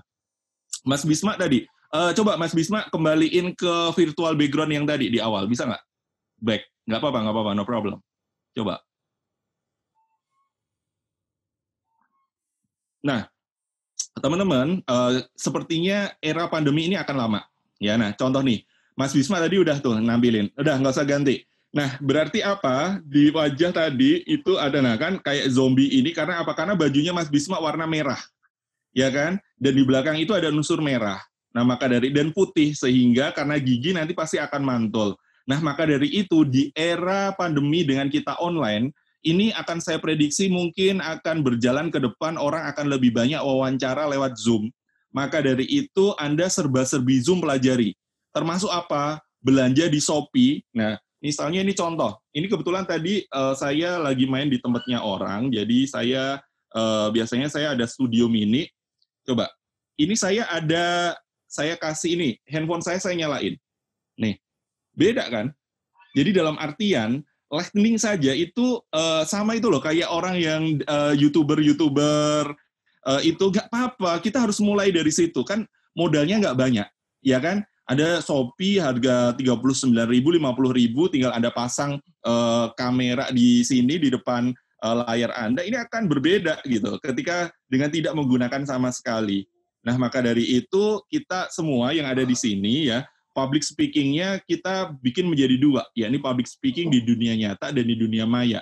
Di dunia maya eh, tadi eh, kita eh, pahami betul. Misalnya eh, tadi, misalnya background-nya ini, berarti tadi saya awalnya mau pakai baju putih, Mas eh, Mas Bisma. Tapi kalau warna putih sama nanti kejadiannya kayak gigi Mas Bisma tadi. Eh, di dada saya nggak bakalan kelihatan. Nah, maka dari itu, eh, itulah pentingnya bagaimana kita bisa um, tadi memahami dunia maya dan dunia nyata. Misalnya teman-teman pakai Zoom. Zoom ini um, memang gambarnya kalau Anda lihat gambar saya pasti nggak bright ya. Karena apa? Zoom ini memang menarik uh, gigabyte-nya kecil dibandingkan dengan Google Meet, dibandingkan dengan uh, Webback ya itu kenceng banget tuh. Uh, Anda pasti kalau mahasiswa bakalan kantongnya terkuras habis. Tapi kalau Zoom memang kualitas gambarnya kurang bagus, tapi uh, dia lebih ringan di dalam gadget dan juga tidak bikin kantong uh, kering ya seperti itu. Mas Wisma sudah punya uh, kelebihan sebenarnya ya, jadi uh, tinggal diasah, baca buku-buku public speaking, maka Anda akan bisa lebih luar biasa lagi. Seperti itu. Oke, Mas Bisma, semoga ada sedikit gambaran. Kalau mau ada ditanyakan lagi? Uh, sebenarnya ada sih. Uh, lagi ya. satu. Uh, bagaimana satu sih uh, cara kontak mata itu kontak oh, mata okay. ke audiens itu yang right. baik itu bagaimana gitu ya kalau audiensnya gini nggak akan kerasa Mas Bisma kayak gini nih Mas Bisma paling lihat di ini nggak kita nggak tatapan mata secara langsung tapi kalau tatapan mata secara langsung dijamin kita bakalan menghindar karena apa bisa jadi uh, tatapan mata seseorang itu bisa lebih tajam daripada kita tapi ada caranya caranya apa lihat segitiga atas ini Nah, ketika orang lihat segitiga atas yang ada di sini, itu seakan-akan ketika kita ngomong itu seperti melihat matanya. Jadi itu salah satu strateginya. Jadi eye contact itu memang penting. Kalau di online kayak gini itu nggak kerasa, tapi kalau kita ketemu langsung, nah itu akan kerasa. Nah caranya apa? Caranya adalah lihat di segitiga atas. Oke? Okay? Ya. Oke, terima kasih Pak. Ya, sama-sama. Baik.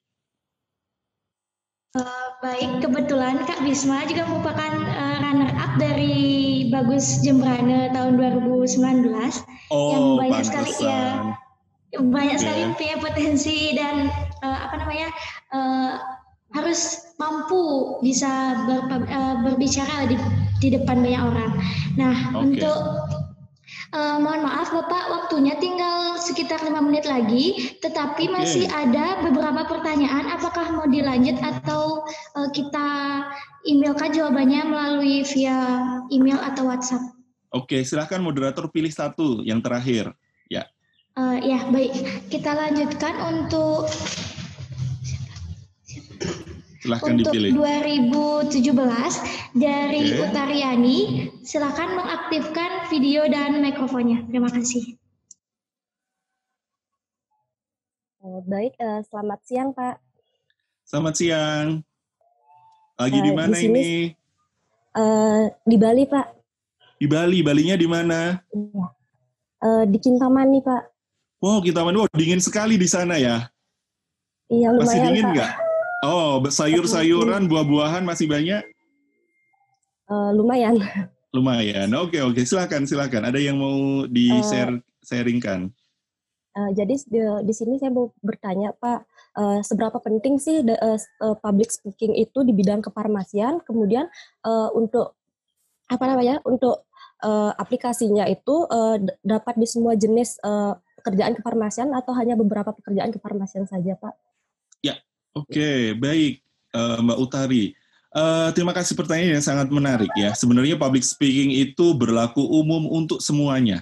Jadi dalam artian tidak hanya di dunia kefarmasian ya. Bagaimana kita bertemu dengan orang tua kita dengan berjalannya waktu orang tua semakin tua, pengen diperhatikan, kita punya adik-adik yang berkembang uh, menjadi dewasa. Nah, ini juga kita punya keponakan, kita punya tetangga dan ini memang dibutuhkan adanya uh, public speaking yang baik tidak hanya di dalam pekerjaan. Kalau di farmasi jelas penting, karena apa tadi di pelayanan, tadi teman Anda yang di Guardian, kalau dia nggak bagus pelayanannya, nggak senyum sama orang, nggak bakalan orang datang ke sana, kalau ada customer satisfaction pasti dia akan diberikan nilai nol. Kalau teman-teman sekarang mungkin beberapa ada yang datang ke Singapura pernah, kalau datang di toilet itu pasti ada uh, touchscreen layar untuk menentukan uh, apakah uh, cleaning service yang ada di sana uh, mengerjakan dengan baik, senyum atau tidak, begitu kan? Sama ketika Anda datang ke XL Center yang pernah saya temui atau di Telkom Sales Center, nah di situ pasti akan diminta untuk memberikan penilaian kepada uh, customer service yang melayani kita. Itu contohnya, apalagi di dunia kefarmasian, kita harus bertemu dengan pasien, misalnya di apotek, belum lagi di rumah sakit, ketemu dengan dokter. Dokter ini pas uh, seringnya tadi katakanlah mereka lebih dominan ya. Tapi kita punya caranya. Tadi kan Pak Kade udah nanyain kita evidence based medicine. Misalnya kita uh, bicaranya adalah di ranah klinis. Berarti kita harus berdasarkan bukti ilmiah. Dokter akan pasti akan nurut dengan evidence based medicine ya. Kemudian di pabrik pabrik nanti anda akan ketemu dengan atasan kita QC QA ya. Nah itu juga harus membutuhkan uh, adanya kemampuan komunikasi yang baik Apalagi kalau Anda sebagai medical representatif yang mana itu bertemu dengan uh, banyak orang mulai dari sesama marketing, sesama uh, tenaga kesehatan uh, yang lain ataupun dengan dokter yang akan kita temui untuk menjelaskan produk spesialis dari produk yang akan kita saji, sajikan seperti itu. Oke, jadi Mbak Utari public speaking ini akan berlaku umum ya semakin kita bisa menguasai public speaking, saya rasa uh, kita akan sukses di lini mana pun dan di mana pun kita berada dan ketemu generasi apa pun. Atasan kita mau generasi apa, misalnya pun nanti kita tiba-tiba generasi alpha, dia anaknya seorang CEO dan dia harus jadi direktur, mau nggak mau kita kan harus menerima. Tapi yang penting adalah kita bisa memahami bagaimana berkomunikasi dengan generasi X, generasi Z, generasi Z, atau generasi Alpha sekalipun. Seperti itu. Oke? Okay? Uh, uh, baik, terima kasih banyak Pak.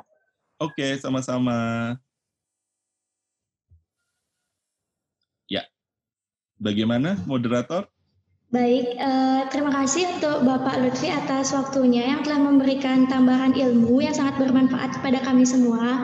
Okay. Dan untuk uh, para peserta yang uh, jawabannya tidak sempat uh, di terjawab oleh naras pemateri kita, kami mohon, ma mohon maaf.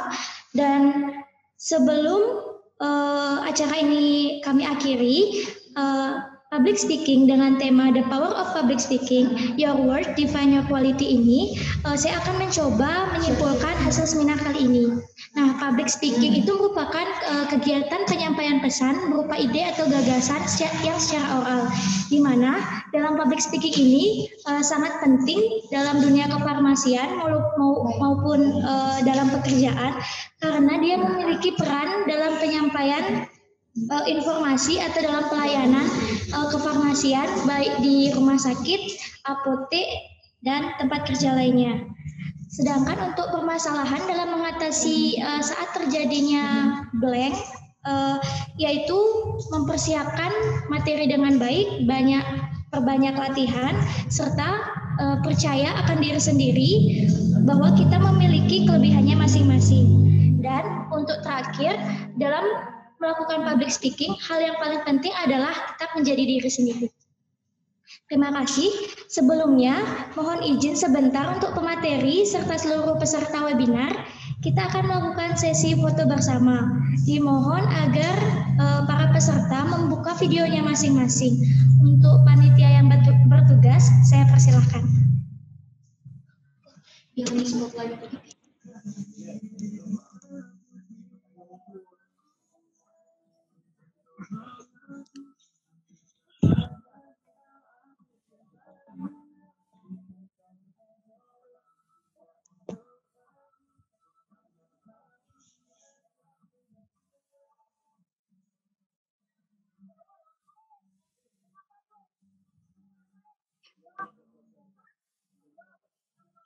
uh, untuk peserta yang belum mengaktifkan videonya, silakan mengaktifkan video terlebih dahulu. Biru. Blue. Yes. This. No. Yeah.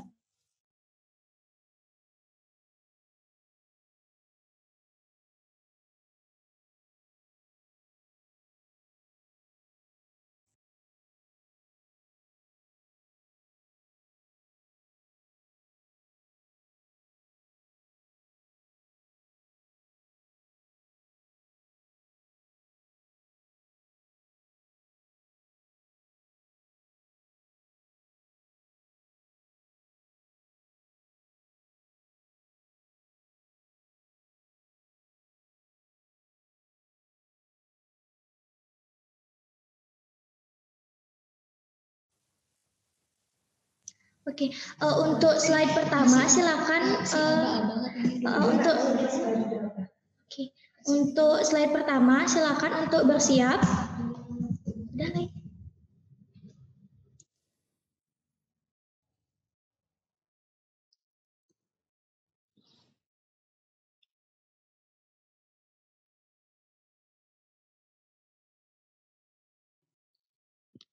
Oke, untuk uh, slide pertama, kedua, dan ketiga sudah dilakukan sesi foto karena uh, slide pertama, kedua, dan ketiga uh, yang membuka videonya, sedangkan slide ke-4, 5, dan 6 uh, tidak mengaktifkan videonya.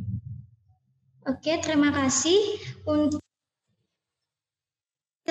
terima kasih untuk waktunya. Kami persilakan untuk para peserta untuk mengaktif, menonaktifkan videonya kembali.